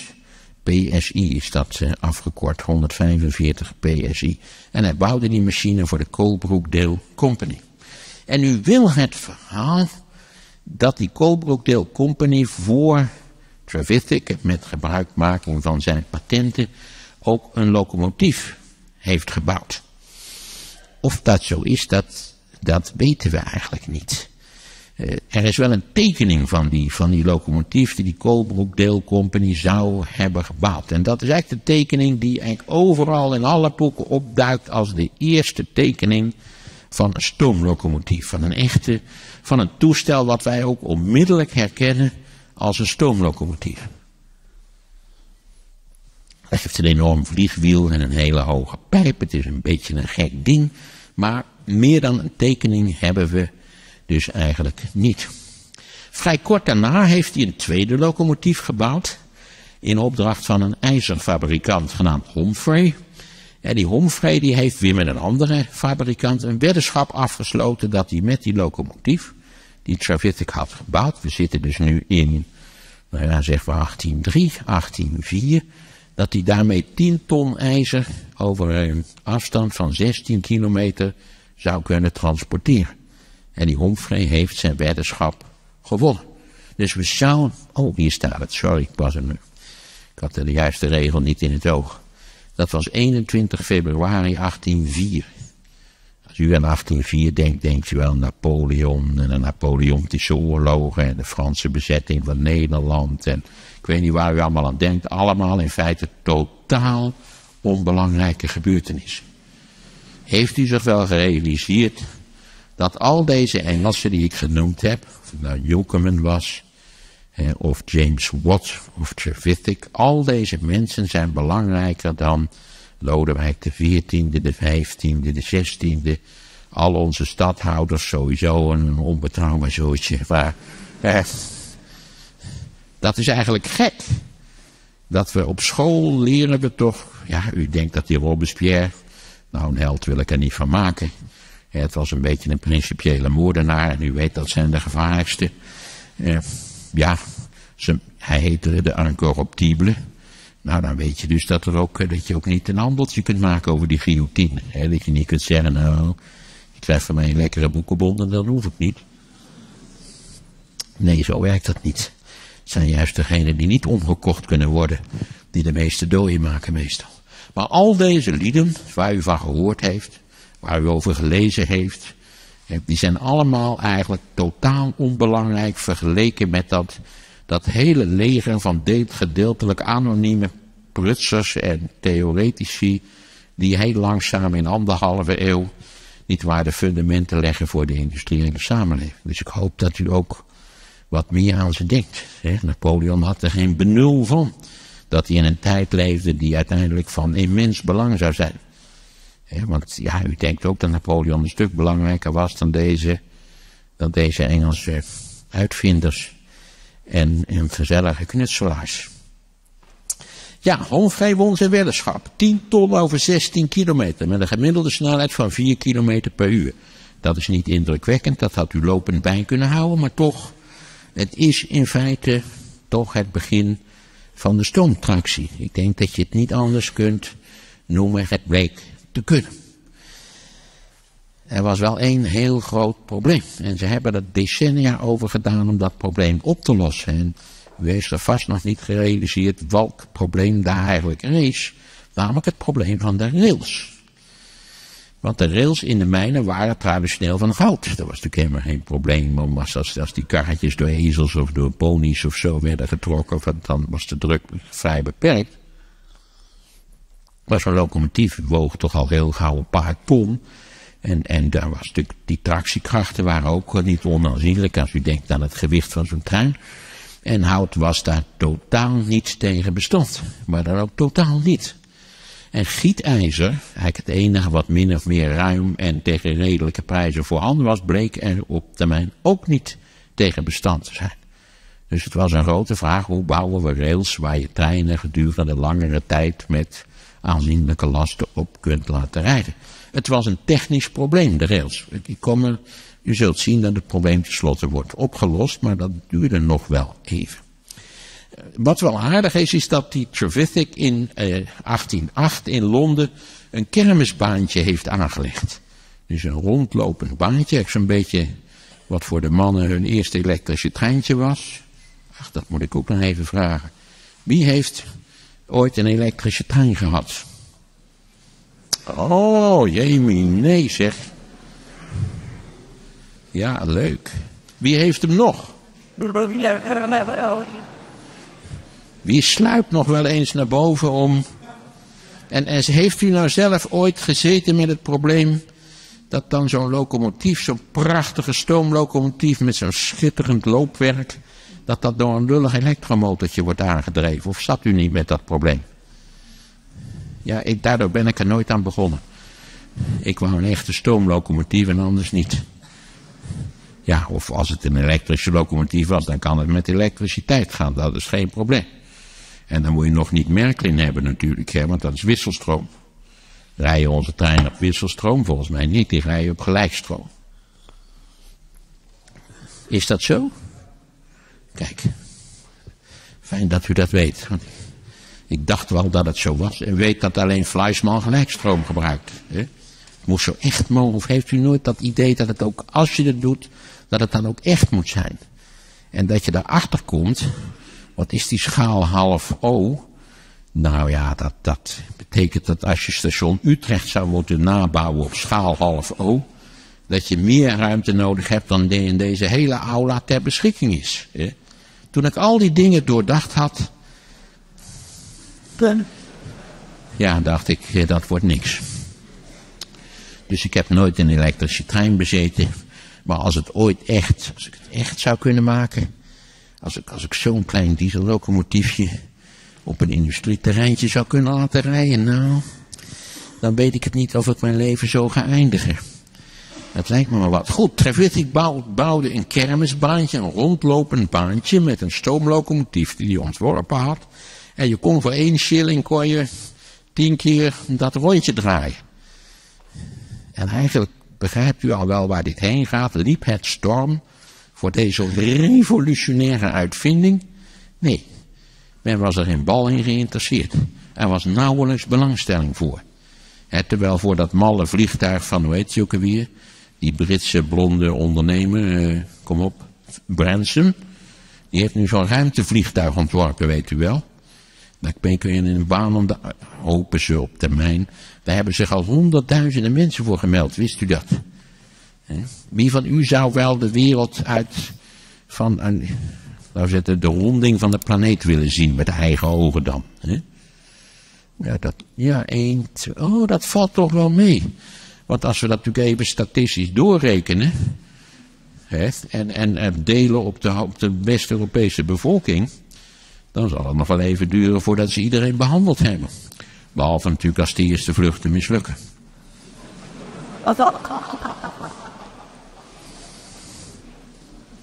Blijft risicovol. Blijft risicovol. Zeker in de beginfases van zo'n technologie weet je nooit precies hoe het af gaat lopen. Ja, dat kermisbaantje was eigenlijk een mislukking. Trevithick die ging naar Zuid-Amerika. En daar heeft hij alle enorme avontuurlijke dingen gedaan. Maar hij is tenslotte teruggekomen en hij is berooid gestorven. Maar ondertussen was er eigenlijk, en zeker in die mijnwereld waar ik het over had heb, een, een hele brede belangstelling gewekt voor locomotieven. Want Servitic had laten zien hoe je met een hoge drukstoommachine een, een werkende locomotief kunt bouwen. Ondanks alle praktische problemen die daar nog bij speelden met die rails en andere zaken. Maar dat kon. En al die mijndirecteuren dachten, potverdrie. Dan zouden we dus eventueel een spoorwegje kunnen aanleggen met zo'n locomotief. En die kolen, daar kunnen we heel goedkoop aankomen. En dan kunnen we die transportfase, die ons nu een massa geld kost, die zouden we eventueel veel goedkoper kunnen maken. En Jan en Alleman begon eigenlijk daar in dat Midden-Engeland te werken aan, aan stoomlocomotieven. En de ontwikkeling van stoomlocomotieven. En dat waren nogal wat mensen. Je zou kunnen zeggen eigenlijk, de, de stoomlocomotief was, was onvermijdelijk geworden. Het, het, was, het, was nog niet zover dat die massaal gebruikt werd, maar het, er zat een zekere vanzelfsprekendheid in dat dat zou gaan gebeuren. En daarvoor hebben we de volgende pionier, dat kan nog wel even, George Stephenson. Of Stevenson, dat weet ik niet. Wie weet hoe je dat uit moet spreken, want de, niemand weet dat eigenlijk. Hè? U denkt Stevenson. Want het is T-S-T-E-P-H-E-N-S-O-N. Ik dacht Stephenson, maar het kan ook Stevenson zijn. Ik laat het eigenlijk aan u om maar uw eigen uitspraak daarvoor te vinden. Dat was een hoogst interessante figuur in vele opzichten. Aanvankelijk een analfabeet, niet naar school geweest. En stoker van een grote Newcomen machine. Waarschijnlijk al verbeterd met Watson technieken, maar hij was degene die de machine op gang hield en dus wist hoe zo'n ding werkt. Hij was bovendien ambitieus, dus hij heeft in het avondonderwijs zichzelf alles geleerd wat hij dacht dat hij zou moeten weten. En hij kon ook die machines repareren, dus al heel snel was hij in feite de chefmonteur van het hele stoombedrijf van een van die grote kolenmijnen. En Stephenson, Stevenson, bouwde in 1814 zijn eerste locomotief. Ten behoeve van kolentransport. Gedeeltelijk geïnspireerd door al die andere experimenten in diezelfde tijd en in diezelfde omgeving gericht op het bouwen van hun zo efficiënt mogelijke eh, locomotief. En zijn grootste probleem was ook, dat zag hij eigenlijk vrij snel, rails. Hoe zou je dat aan moeten pakken? Houten rails ging dus niet, gietijzeren rails waren ook heel snel beschadigd en Stevenson koos voor smeedijzeren rails. Dat was eigenlijk het meest efficiënte materiaal in dat opzicht. En bovendien verdeelde hij het gewicht van de door hem ontworpen locomotieven over zoveel mogelijk assen. Want dan is de druk per as natuurlijk relatief klein, dus dan is de schade ook niet al te groot. Eh, ook smeedijzer bleek overigens niet het materiaal te zijn wat eh, bruikbaar was. Pas toen er stalen rails ter beschikking kwamen. Ja, wanneer is dat? Op het moment dat er massa... En men heeft al heel lang staal kunnen maken, maar alleen hele kleine hoeveelheden.